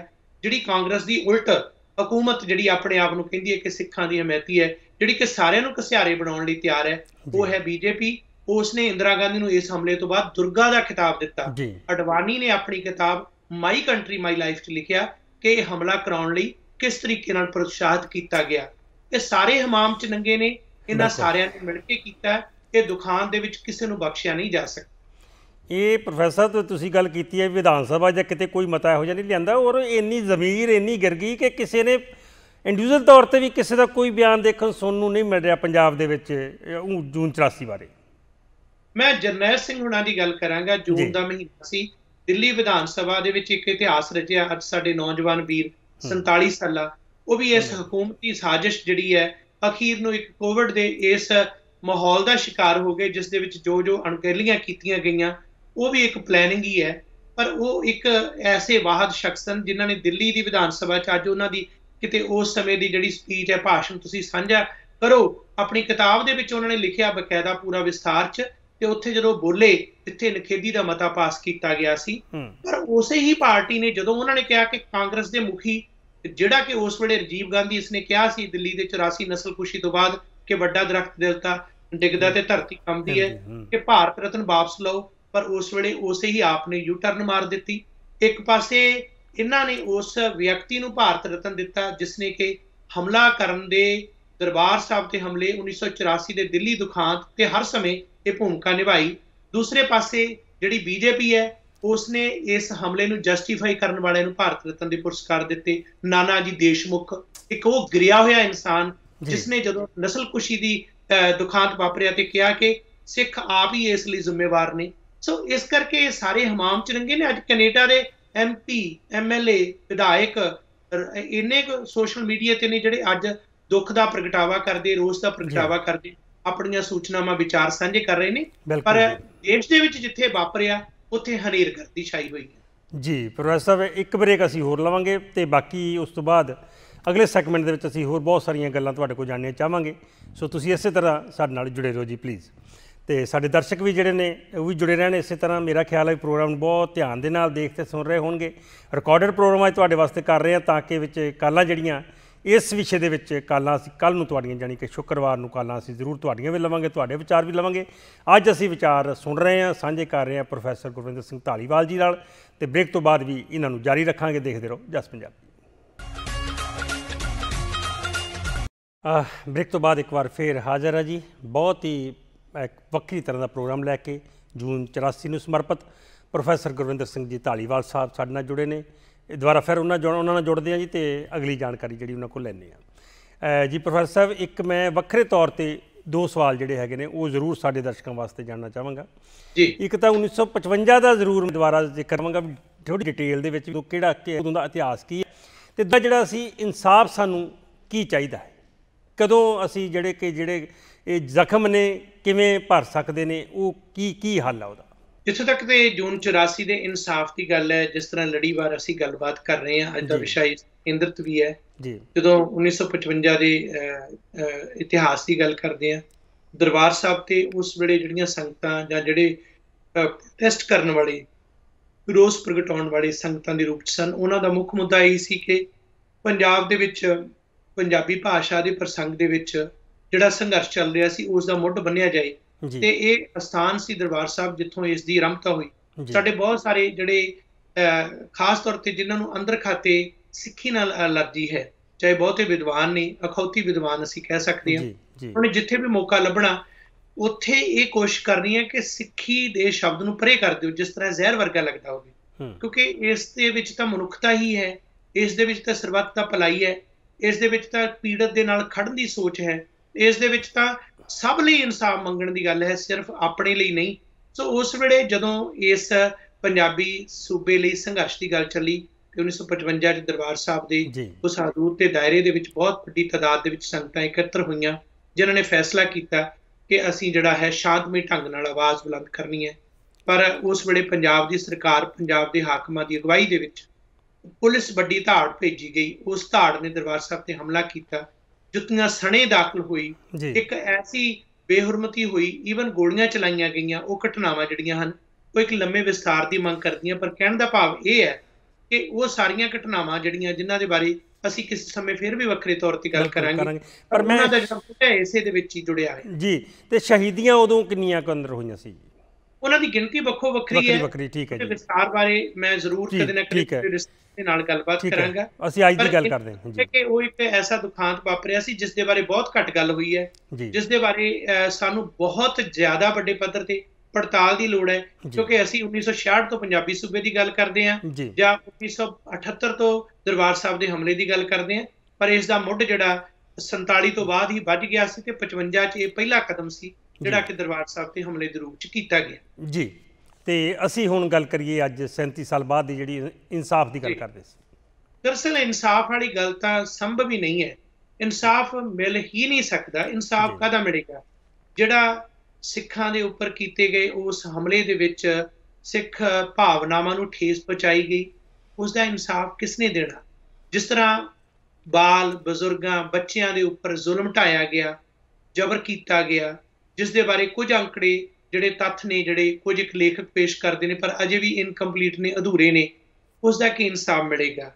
ਉਹ ਇਮਾਰਤ ਢਾਹ ਕੇ ਹਕੂਮਤ ਨੇ ਇੱਕ ਕਾਰਜੀ ਤੌਰ ਤੇ ਆਰਟੀਫੀਸ਼ੀਅਲ ਇੱਕ ਐਸੀ ਸਰਕਾਰੀ ਇਮਾਰਤ ਵੀ ਖੜੀ ਕੀਤੀ ਸਿੱਖਾਂ ਨੇ ਪ੍ਰਵਾਨ ਨਹੀਂ ਕੀਤੀ। ਜੀ। ਲਾਇਬ੍ਰੇਰੀ ਜਿਹੜੀ ਸਿੱਖ ਰੈਫਰੈਂਸ ਲਾਇਬ੍ਰੇਰੀ ਉਸ ਦੇ ਵਿੱਚੋਂ ਮੁਕੰਮਲ ਰੂਪ ਦੇ ਵਿੱਚ ਇਤਿਹਾਸਕ ਸਰੋਤ ਜਿਹੜੇ ਆ ਤਬਾਹ ਕਰ ਦਿੱਤੇ ਗਏ ਨਸ਼ਟ ਕਰ ਦਿੱਤੇ ਗਏ ਉਹ ਕਿੱਥੋਂ ਮਿਲਣੇ ਨੇ ਕਿੱਥੋਂ ਲੱਭਣੇ ਨੇ? ਜਿਸ ਤਰੀਕੇ ਨਾਲ ਸਿੱਖ ਅਜਾਇਬ ਘਰ ਦੀ ਤਬਾਹੀ ਕੀਤੀ ਗਈ ਉਹ ਤਬਾਹੀ ਦਾ ਜਿਹੜਾ ਹੈ ਕੀ ਕੋਈ ਉਸ ਦਾ ਘਾਟਾ ਪੂਰਾ ਕਰ ਸਕੇਗਾ। ਸੋ 1984 ਨਾ ਭੁੱਲਣਯੋਗ ਹੈ, ਨਾ ਬਖਸ਼ਣਯੋਗ ਹੈ। ਹਾਂ, ਕੀ ਹੋ ਸਕਦਾ ਹੈ? ਹੋ ਇਹ ਸਕਦਾ ਹੈ ਕਿ 1984 ਦੇ ਇਸ ਦੁਖਾਂਤ ਤੋਂ ਬਾਅਦ ਇੱਕ ਆਵਾਜ਼ ਇਹ ਆਵੇ ਕਿ ਇਸ ਨੂੰ ਇੱਕ ਨਸਲਕੁਸ਼ੀ ਦਾ ਉਹ ਕਾਰਵਾਈ ਦੇ ਤੌਰ ਤੇ ਐਲਾਨਿਆ ਜਾਵੇ ਕਿ ਇਹ ਇੱਕ ਜੈਨੋਸਾਈਡ ਸੀ। ਪੰਜਾਬ ਦੇ ਵਿੱਚ 84 ਤੋਂ ਲੈ ਕੇ 95 ਤੱਕ ਜੋ ਕੁਝ ਹੋਇਆ ਇਹ ਆਪਣੇ ਆਪ ਦੇ ਵਿੱਚ ਇੱਕ ਜੈਨੋਸਾਈਡ ਸੀ। ਕਿਉਂਕਿ ਜਿੱਥੇ ਦਸਤਾਰ ਦੇਖੋ ਜਿੱਥੇ ਸਿੱਖ ਦੇਖੋ ਉਸ ਨੂੰ ਖਤਮ ਕਰ ਦੇਣਾ। ਚਾ- 215 ਬੱਚੇ ਨੇਟਿਵਸ ਦੇ ਜਿਨ੍ਹਾਂ ਦੇ ਅਵਸ਼ੇਸ਼ ਮਿਲੇ ਅਸੀਂ ਕੈਨੇਡਾ ਦੇ ਵਿੱਚ ਫਿਰਦੇ ਬਲੁੰਦਰੇ ਹੋਏ ਨੇ। ਕੈਮਲੂਪਸ ਤੋਂ ਜੋ ਮਿਲੇ ਕਾਫੀ ਸਦੀਆਂ ਸਮਾਂ ਪਹਿਲਾਂ ਜੋ ਜਿਸ ਤਰੀਕੇ ਨਾਲ ਰੈਜ਼ੀਡੈਂਸ਼ੀਅਲ ਸਕੂਲਾਂ ਨੇ ਇਹ ਕੁਝ ਕੀਤਾ ਸੀ। ਅੱਜ ਅਸੀਂ ਝੰਡੇ ਵੀ ਨੀਵੇਂ ਕੀਤੇ। ਪਰ ਕੀ ਅੱਜ ਦੇਸ਼ ਦਾ ਝੰਡਾ ਨੀਵਾਂ ਹੋਇਆ? ਜਿੱਥੇ ਹਜ਼ਾਰਾਂ ਦੀ ਤਾਦਾਦ ਦੇ ਵਿੱਚ ਦਰਬਾਰ ਸਾਹਿਬ ਦੇ ਵਿੱਚ ਇਕੱਤਰ ਸੰਗਤਾਂ ਨੂੰ ਮਾਰਿਆ ਗਿਆ ਉਹਨਾਂ ਬੱਚਿਆਂ ਨੂੰ ਕੋ ਕੋ ਕੇ ਮਾਰਿਆ ਗਿਆ ਉਹਨਾਂ ਤੇ ਅਤਿਆਚਾਰ ਕੀਤੇ ਗਏ ਕਿਸੇ ਹਕੂਮਤ ਦਾ ਝੰਡਾ ਨਹੀਂ ਕਿਸੇ ਨੇ ਨੀਵਾ ਨਹੀਂ ਕੀਤਾ ਬਲਕਿ ਇਹ ਕਿਹਾ ਕਿ ਤੁਸੀਂ ਹੀ ਕਸੂਰਵਾਰ ਸੀ ਸਿੱਖਾਂ ਨੂੰ ਹੀ ਦੋਸ਼ੀ ਗਰਦਾਨਿਆ ਗਿਆ। ਸੋ ਅਸੀਂ ਕੀ ਕਰ ਸਕਦੇ ਹਾਂ? ਜਿਵੇਂ ਵਿਦੇਸ਼ਾਂ ਦੇ ਵਿੱਚ ਬੈਠੇ ਅਸੀਂ ਇਸ ਗੱਲ ਦੀ ਮੰਗ ਕਰੀਏ ਕਿ ਭਾਰਤ ਦੀ ਸੋ ਕਾਲਡ ਜਿਹੜੀ ਡੈਮੋਕ੍ਰੇਸੀ ਤੇ ਸੋ ਕਾਲਡ ਇਹ ਲੋਕ ਰਾਜ ਹੈ ਉਸ ਦੇ ਮੂੰਹ ਤੋਂ ਇਹ ਪਰਦਾ ਲਾ ਕੇ ਸੰਸਾਰ ਨੂੰ ਦੱਸਿਆ ਜਾਏ ਕਿ ਨਸਲ ਖੁਸ਼ੀ ਸੀ ਇਸ ਦੇ ਲਈ ਅਸੀਂ ਆਪਣੀ ਲੜਾਈ ਲੜੀਏ ਅਸੀਂ ਇਸ ਲੜਾਈ ਨੂੰ ਅੱਗੇ ਤੋਰੀਏ ਕਿ ਜਿਹੜੇ ਜ਼ਾਲਮ ਲੋਕ ਨੇ ਜਿਨ੍ਹਾਂ ਨੇ ਹਮਲਾ ਕੀਤਾ ਉਹਨਾਂ ਦੀ ਸਚਾਈ ਸੰਸਾਰ ਸਾਹਮਣੇ ਲਿਆਈਏ। ਕਿ ਕਿਸ ਨੇ ਕੇਪੀਐਸ ਗਿੱਲ ਨੂੰ ਸਜ਼ਾ ਦਿੱਤੀ ਹੈ ਉਹ ਆਪਣੀ ਮੌਤ ਆਪ ਮਰਿਆ। ਜੀ। ਰਾਜੀਵ ਗਾਂਧੀ ਦਾ ਬੇਸ਼ੱਕ ਉਸ ਦਾ ਜਿਹੜਾ ਸੋਧਾ ਦੱਖਣੀ ਭਾਰਤ ਦੇ ਵਿੱਚ ਲੱਗਿਆ ਪਰ ਉਸ ਨੂੰ ਕੋਈ ਸਜ਼ਾ ਨਹੀਂ ਮਿਲੀ। ਕੀ ਵੱਡੇ ਵੱਡੇ ਜਿਹੜੇ ਪੰਜਾਬ ਦੇ ਵਿੱਚ ਅੱਜ ਬੁੱਚੜ ਕੁਲਦੀਪ ਬਰਾੜ ਵਰਗੇ ਨੇ ਉਹਨਾਂ ਨੂੰ ਕੋਈ ਸਜ਼ਾ ਮਿਲੀ ਹੈ ਕਿਹਨੇ ਸਜ਼ਾ ਦੇਣੀ ਹੈ? ਤਾਂ ਕਰਵਾਉਣ ਵਾਲੇ ਖੁਦ ਸਨ। ਸੋ। ਇਨਸਾਫ ਨਹੀਂ ਮਿਲ ਸਕਦਾ। ਅਸੀਂ ਇਹ ਲੜਾਈ ਲੜੀਏ ਜਿਨ੍ਹਾਂ ਦੇ ਵਿੱਚ ਮੈਂ ਕੁਝ ਇੱਕ ਕਾਵ ਰੂਪ ਦੇ ਵਿੱਚ ਸ਼ਬਦ ਲਿਖੇ ਨੇ ਮੈਂ ਅੱਜ। ਤੁਹਾਡੇ ਨਾਲ ਸਾਂਝਾ ਕਰੇਗਾ। ਉਹਨਾਂ ਸ਼ਬਦਾਂ ਦੇ ਵਿੱਚ ਮੈਂ ਕੋਸ਼ਿਸ਼ ਕੀਤੀ ਹੈ ਕੁਝ ਦੋਹਿਆਂ ਦੇ ਰਾਹੀਂ ਕਿ ਇਹ ਸੱਚਾਈ ਨੂੰ ਬਿਆਨ ਕੀਤਾ ਜਾਵੇ ਜਿਹਦੇ ਚ ਸਾਡੀ ਨਾਲ ਲੀਡਰਸ਼ਿਪ ਦੇ ਵੀ ਨਾਲ ਅਹਲੀਅਤ ਹੈ। ਸਾਡੇ ਲੋਕਾਂ ਦੀ ਜਿਹੜੀ ਆਗੂ ਸ਼੍ਰੇਣੀ ਹੈ ਉਸ ਦੀ ਮਰ ਚੁੱਕੀ ਜ਼ਮੀਰ ਹੈ। ਤੁਸੀਂ ਦੇਖੋ ਕੀ ਕਰ ਰਹੇ ਨੇ ਜਿਨ੍ਹਾਂ ਤੇ ਆਪਣੇ ਸਨ ਉਹਨਾਂ ਨੇ ਕੀ ਕੀਤਾ? ਜਿਹੜੇ ਹੁਣ ਦੂਸਰੇ ਨੇ ਉਹ ਅੱਜ ਕੀ ਕਰ ਰਹੇ ਨੇ? ਅੱਜ ਵੱਡੇ ਵੱਡੇ ਇਨਸਾਫ ਤੇ ਖੁਦਮੁਖਤਿਆਰੀ ਦੀ ਗੱਲ ਕਰਨ ਵਾਲੇ ਜਿਸ ਤਰੀਕੇ ਨਾਲ ਝੋਲੀ ਚੁੱਕ ਬਣ ਰਹੇ ਨੇ ਉਹਨਾਂ ਦਿਨਾਂ ਦੇ ਵਿੱਚ ਜਿਨ੍ਹਾਂ ਨਾਲ ਸ਼ਹਾਦਤ ਹੋਈ ਹੈ ਖਹਿਰਾ ਤੇ ਹੋਰ ਸਾਰੇ ਜਿਹੜੇ ਕਿ ਕਦੇ ਲੱਗਦਾ ਸੀ ਪਤਾ ਨਹੀਂ ਕੀ ਕਰਨਗੇ। ਜੀ। ਜੋ ਬੇਅਦਬੀ ਦੇ ਕਾਂਡ ਬਰਗਾੜੀ ਕਾਂਡ ਹੋਏ ਆ ਉਸ ਦੇ ਵਿੱਚ ਖੁਦ ਅਕਾਲੀ ਸਰਕਾਰ ਬੀਜੇਪੀ ਇਹਨਾਂ ਦਾ ਦੋਸ਼ ਹੈ। ਕਾਂਗਰਸ ਨੇ ਗੁੱਟ ਕੇ ਤੇ ਸੌਹਾਂ ਖਾ ਕੇ ਇਨਸਾਫ ਦੀ ਗੱਲ ਕੀਤੀ। ਅੱਜ ਉਹੀ ਕੈਪਟਨ ਅਮਰਿੰਦਰ ਸਿੰਘ ਜਿਹੜਾ ਉਦੋਂ ਅਸਤੀਫੇ ਦਿੰਦਾ ਸੀ ਅੱਜ ਉਸ ਦਾ ਕੀ ਰੋਲ ਹੈ? ਉਸ ਨੂੰ ਆਸ਼ੀ ਦਾ ਜਿਹੜਾ ਮੰਜ਼ਰ ਜਿਹੜਾ ਨਜ਼ਰ ਆ ਰਿਹਾ ਸੋ ਕੁਝ ਇੱਕ ਸ਼ਬਦ ਨੇ ਜਿਸ ਤਰ੍ਹਾਂ ਉਹਨਾਂ ਯੋਧਿਆਂ ਜਾਂ ਸ਼ਹੀਦਾਂ ਦੇ ਨਾਲ ਨਾਲ ਉਹ ਬੇਕਸੂਰ ਲੋਕਾਂ ਦੇ ਰਾਹੀਂ ਤੇ ਨਾਲੋਂ ਨਾਲ ਜਿਹੜੀ ਹਕੂਮਤ ਹੈ ਉਸ ਦੇ ਕਿਰਦਾਰ ਨੂੰ ਤੇ ਮੌਕਾ ਪ੍ਰਸਤ ਲੀਡਰਸ਼ਿਪ ਨੂੰ ਬਿਆਨ ਕਰਦੇ ਨੇ। ਜੀ। ਅਣਖੀ ਨਾ ਮਰਦਾ ਕਦੇ ਅਣਖੀ ਨਾ ਮਰਦਾ ਕਦੇ ਚਾਹੇ ਮਰੇ ਸਰੀਰ ਜਿਉਂਦੇ ਜੀ ਉਹ ਮਰ ਰਿਹਾ ਜਿਸ ਦੀ ਮਰੇ ਜ਼ਮੀਰ।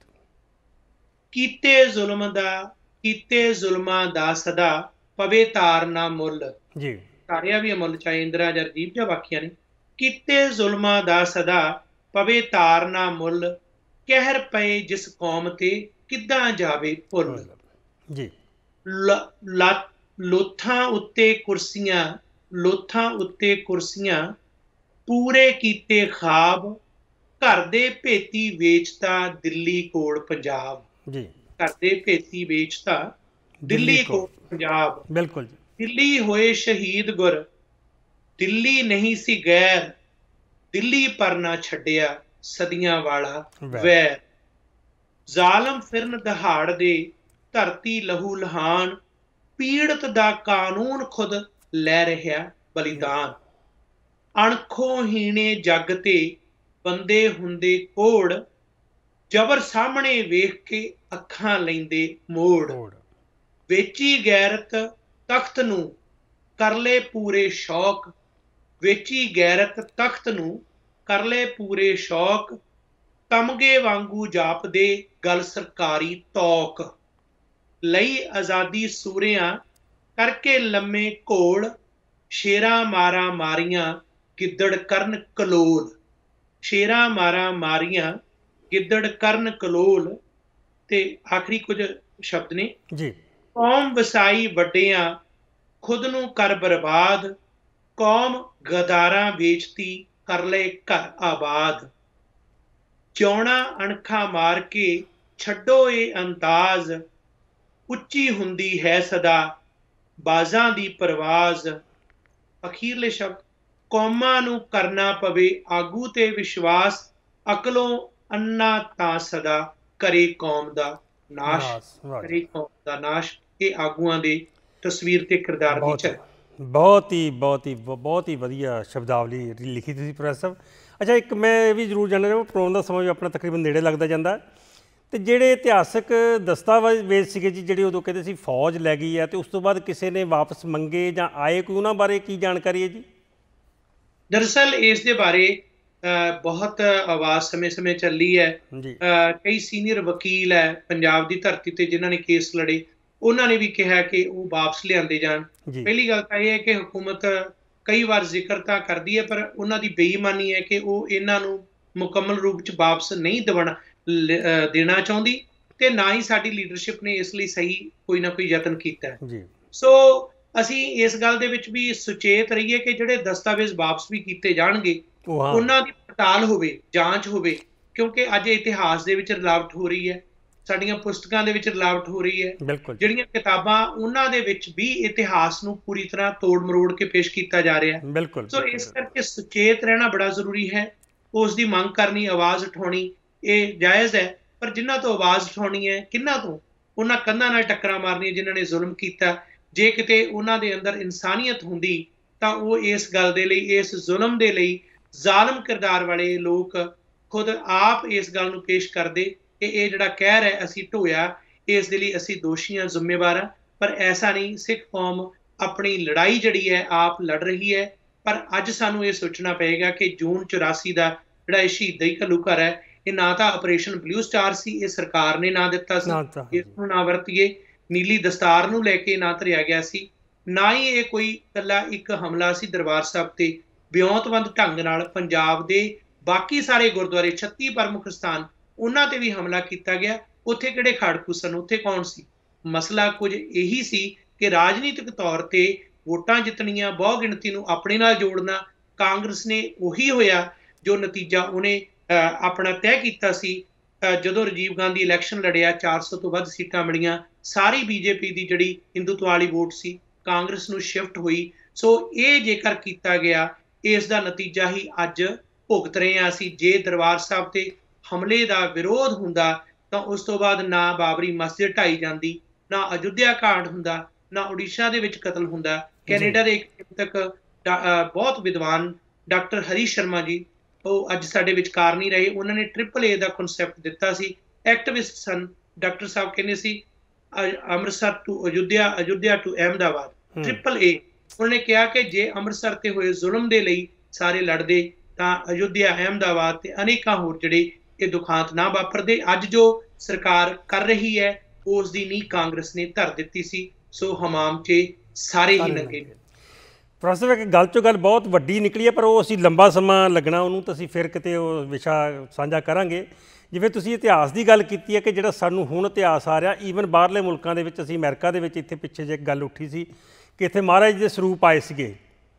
ਉਹ ਪਤਾ ਹੀ ਨਹੀਂ ਜਿਹੜੇ ਜਿਵੇਂ ਜੇ ਚੋਰੀ ਹੋਏ, ਉਹਨਾਂ ਦੇ ਵਿੱਚ ਵੀ ਸਾ ਇੱਥੇ ਗੱਲ ਉੱਠੀ ਸੀ ਵੀ ਉਹਨਾਂ ਦੇ ਵਿੱਚ ਵੀ ਚੇਂਜਸ ਕਰਕੇ ਉਹਨਾਂ ਦੇ ਵਿੱਚ ਵੀ ਕੁਝ ਨਾ ਕੁਝ ਵੱਖਰਾ ਲਿਖ ਕੇ ਕੁਝ ਨਾ ਕੁਝ ਪੰਨੇ ਐਸੇ ਦਰਜ ਕੀਤੇ ਸੀ। ਇਹ ਅਸੀਂ ਵਿਸ਼ਾ ਫੇਰ ਰੱਖਾਂਗੇ। ਬਹੁਤ ਵੱਡਾ ਤੇ ਬਹੁਤ ਡੂੰਘਾ ਵਿਸ਼ਾ ਕਿ ਸਾਨੂੰ ਜਿਹੜਾ ਹੁਣ ਪਰੋਸਿਆ ਜਾ ਰਿਹਾ ਇਤਿਹਾਸ 'ਚ ਸਾਡੇ ਤੋਂ ਅਗਲੀ ਪੀੜ੍ਹੀ ਨੂੰ ਪਰੋਸਿਆ ਜਾਣਾ, ਉਹਦੇ 'ਚ ਕਿੰਨੀ ਕੁ ਸੱਚਾਈ ਰਹੇਗੀ ਜੀ। ਸੋ ਅੱਜ ਵਾਸਤੇ ਤੁਹਾਡਾ ਬਹੁਤ ਧੰਨਵਾਦ ਜੀ। ਇੱਕ ਵਾਰ ਫਿਰ ਬਹੁਤ ਹੀ ਵਧੀਆ ਜਾਣਕਾਰੀ, ਬਹੁਤ ਹੀ ਵਧੀਆ ਗੱਲਬਾਤ ਹੋਈ। ਅਖੀਰ ਚ ਤੁਹਾਡਾ ਜਸ ਪੰਜਾਬੀ ਦਾ ਜਗਤਾਰ ਸਿੰਘ ਜੀ, ਖੁਦ ਤੁਸੀਂ ਤੁਹਾਡੀ ਸਾਰੀ ਟੀਮ ਦਾ ਧੰਨਵਾਦ। ਕਿ ਇਨਸਾਫ ਦੇ ਲਈ ਇਹ ਸੰ- ਸਰਕਾਰੀ ਇਨਸਾਫ ਦੀ ਗੱਲ ਨਹੀਂ ਦੁਨੀਆ ਸੱਚ ਦੱਸ ਦਈਏ ਕਿ ਕੁਝ ਹੋਇਆ। ਕੌਮ ਜਿਹੜੀ ਹੈ ਮਹਾਨ ਹੈ ਇਹ ਉਸ ਗੁਰੂ ਨਾਨਕ ਸਾਹਿਬ ਨੇ ਸਾਜਿਆ, ਜਿਸ ਨੇ ਚਾਰੇ ਕੁੰਡਾਂ ਜਿਹੜੀਆਂ ਦੇਖ ਕੇ ਦੁਨੀਆ ਦੇ ਵਿੱਚ ਇੱਕ ਮਨੁੱਖਤਾ ਦਾ ਸੰਦੇਸ਼ ਦਿੱਤਾ ਤੇ ਗੁਰੂ ਗੋਬਿੰਦ ਸਿੰਘ ਜੀ ਨੇ ਜਿਹੜਾ ਖਾਲਸਾ ਸਾਜਿਆ। ਸੋ ਇਹ ਜਿਹੜਾ ਚੜ੍ਹਦੀ ਕਲਾ ਦੇ ਵਿੱਚ ਰਹਿਣਾ, ਇਸ ਦਾ ਮਨੋਬਲ ਕਾਇਮ ਹੀ ਰਹਿਣਾ, ਜਿੱਥੇ ਵੀ ਜ਼ਬਰ ਜ਼ੁਲਮ ਹੁੰਦਾ, ਉੱਥੇ ਲੜਨਾ ਇਸ ਨੇ।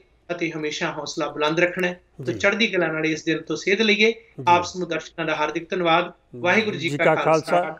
ਵਾਹਿਗੁਰੂ ਜੀ ਕੀ ਫਤਿਹ। ਬਹੁਤ ਮਿਹਰਬਾਨੀ ਜੀ ਬਹੁਤ ਮਿਹਰਬਾਨੀ। ਬਹੁਤ ਧੰਨਵਾਦ ਕਰਦੇ ਹਾਂ ਪ੍ਰੋਫੈਸਰ ਸਾਹਿਬ। ਸਾਹਿਬ ਦਾ ਉਹਨਾਂ ਨੇ ਬਹੁਤ ਵਧੀਆ ਜਾਣਕਾਰੀ ਸਾਡੇ ਨਾਲ ਸਾਂਝੀ ਕੀਤੀ ਹੈ। ਅੱਗੇ ਵੀ ਇਸੇ ਤਰ੍ਹਾਂ ਉਹਨਾਂ ਨੂੰ ਕਸ਼ਟ ਦਿੰਦੇ ਰਵਾਂਗੇ ਜੀ ਸਾਡੇ ਦਰਸ਼ਕਾਂ ਵਾਸਤੇ ਜਾਣਕਾਰੀ ਵਾਸਤੇ। ਉਮੀਦ ਕਰਦਾ ਜੀ ਅੱਜ ਦਾ ਪ੍ਰੋਗਰਾਮ ਜਿਹੜਾ ਘਰਾਂ ਵਿੱਚ ਬੈਠੇ ਦਰਸ਼ਕਾਂ ਨੂੰ ਪੂਰਾ ਠੀਕ ਲੱਗਿਆ ਹੋਵੇਗਾ ਵਧੀਆ ਲੱਗਿਆ ਹੋਵੇਗਾ ਵਧੀਆ ਤੋਂ ਭਾਵ ਇਹ ਹੈ ਕਿ ਜਿਹੜੀ ਜਾਣਕਾਰੀ ਦਿੱਤੀ ਗਈ ਹੈ, ਉਹ ਤੁਹਾਨੂੰ ਪਸੰਦ ਆਈ ਹੋਵੇਗੀ ਤੇ ਸਾਡੇ ਬੱਚਿਆਂ ਨੂੰ ਇਹ ਜਾਣਕਾਰੀ ਦੇਣ ਦੀ ਲੋੜ ਆ, ਬੱਚਿਆਂ ਤੱਕ ਜਾਣਕਾਰੀ, ਸਹੀ ਜਾਣਕਾਰੀ ਪਹੁੰਚਾਉਣ ਦੀ ਲੋੜ ਹੈਗੀ ਆ। ਕੁਝ ਬਹੁਤ ਸਾਰੀਆਂ ਗਲਤ ਜਾਣਕਾਰੀਆਂ ਵੀ ਤੁਰੀਆਂ ਫਿਰਦੀਆਂ ਨੇ, ਉਹਨਾਂ ਤੋਂ ਬਚਣ ਦੀ ਲੋੜ ਹੈ ਜਿਵੇਂ ਪ੍ਰੋਫੈਸਰ ਸਾਹਿਬ ਨੇ ਕਿਹਾ। ਤੇ ਮੈਨੂੰ ਹੁਣ ਅਖੀਰ ਦੇ ਵਿੱਚ ਆਗਿਆ ਦਿਓ ਜੀ, ਸਭ ਨੂੰ ਪਿਆਰ ਭਰੀ ਸਤਿ ਸ੍ਰੀ ਅਕਾਲ। ਪ੍ਰਮਾਤਮਾ ਸਭ ਨੂੰ ਖੁਸ਼ ਰੱਖੇ, ਚੜ੍ਹਦੀ ਕਲਾ ਵਿੱਚ ਰੱਖੇ। ਵਾਹਿਗੁਰੂ ਜੀ ਕਾ ਖਾਲਸਾ, ਵਾਹਿਗੁਰੂ ਜੀ ਕੀ ਫਤਿਹ।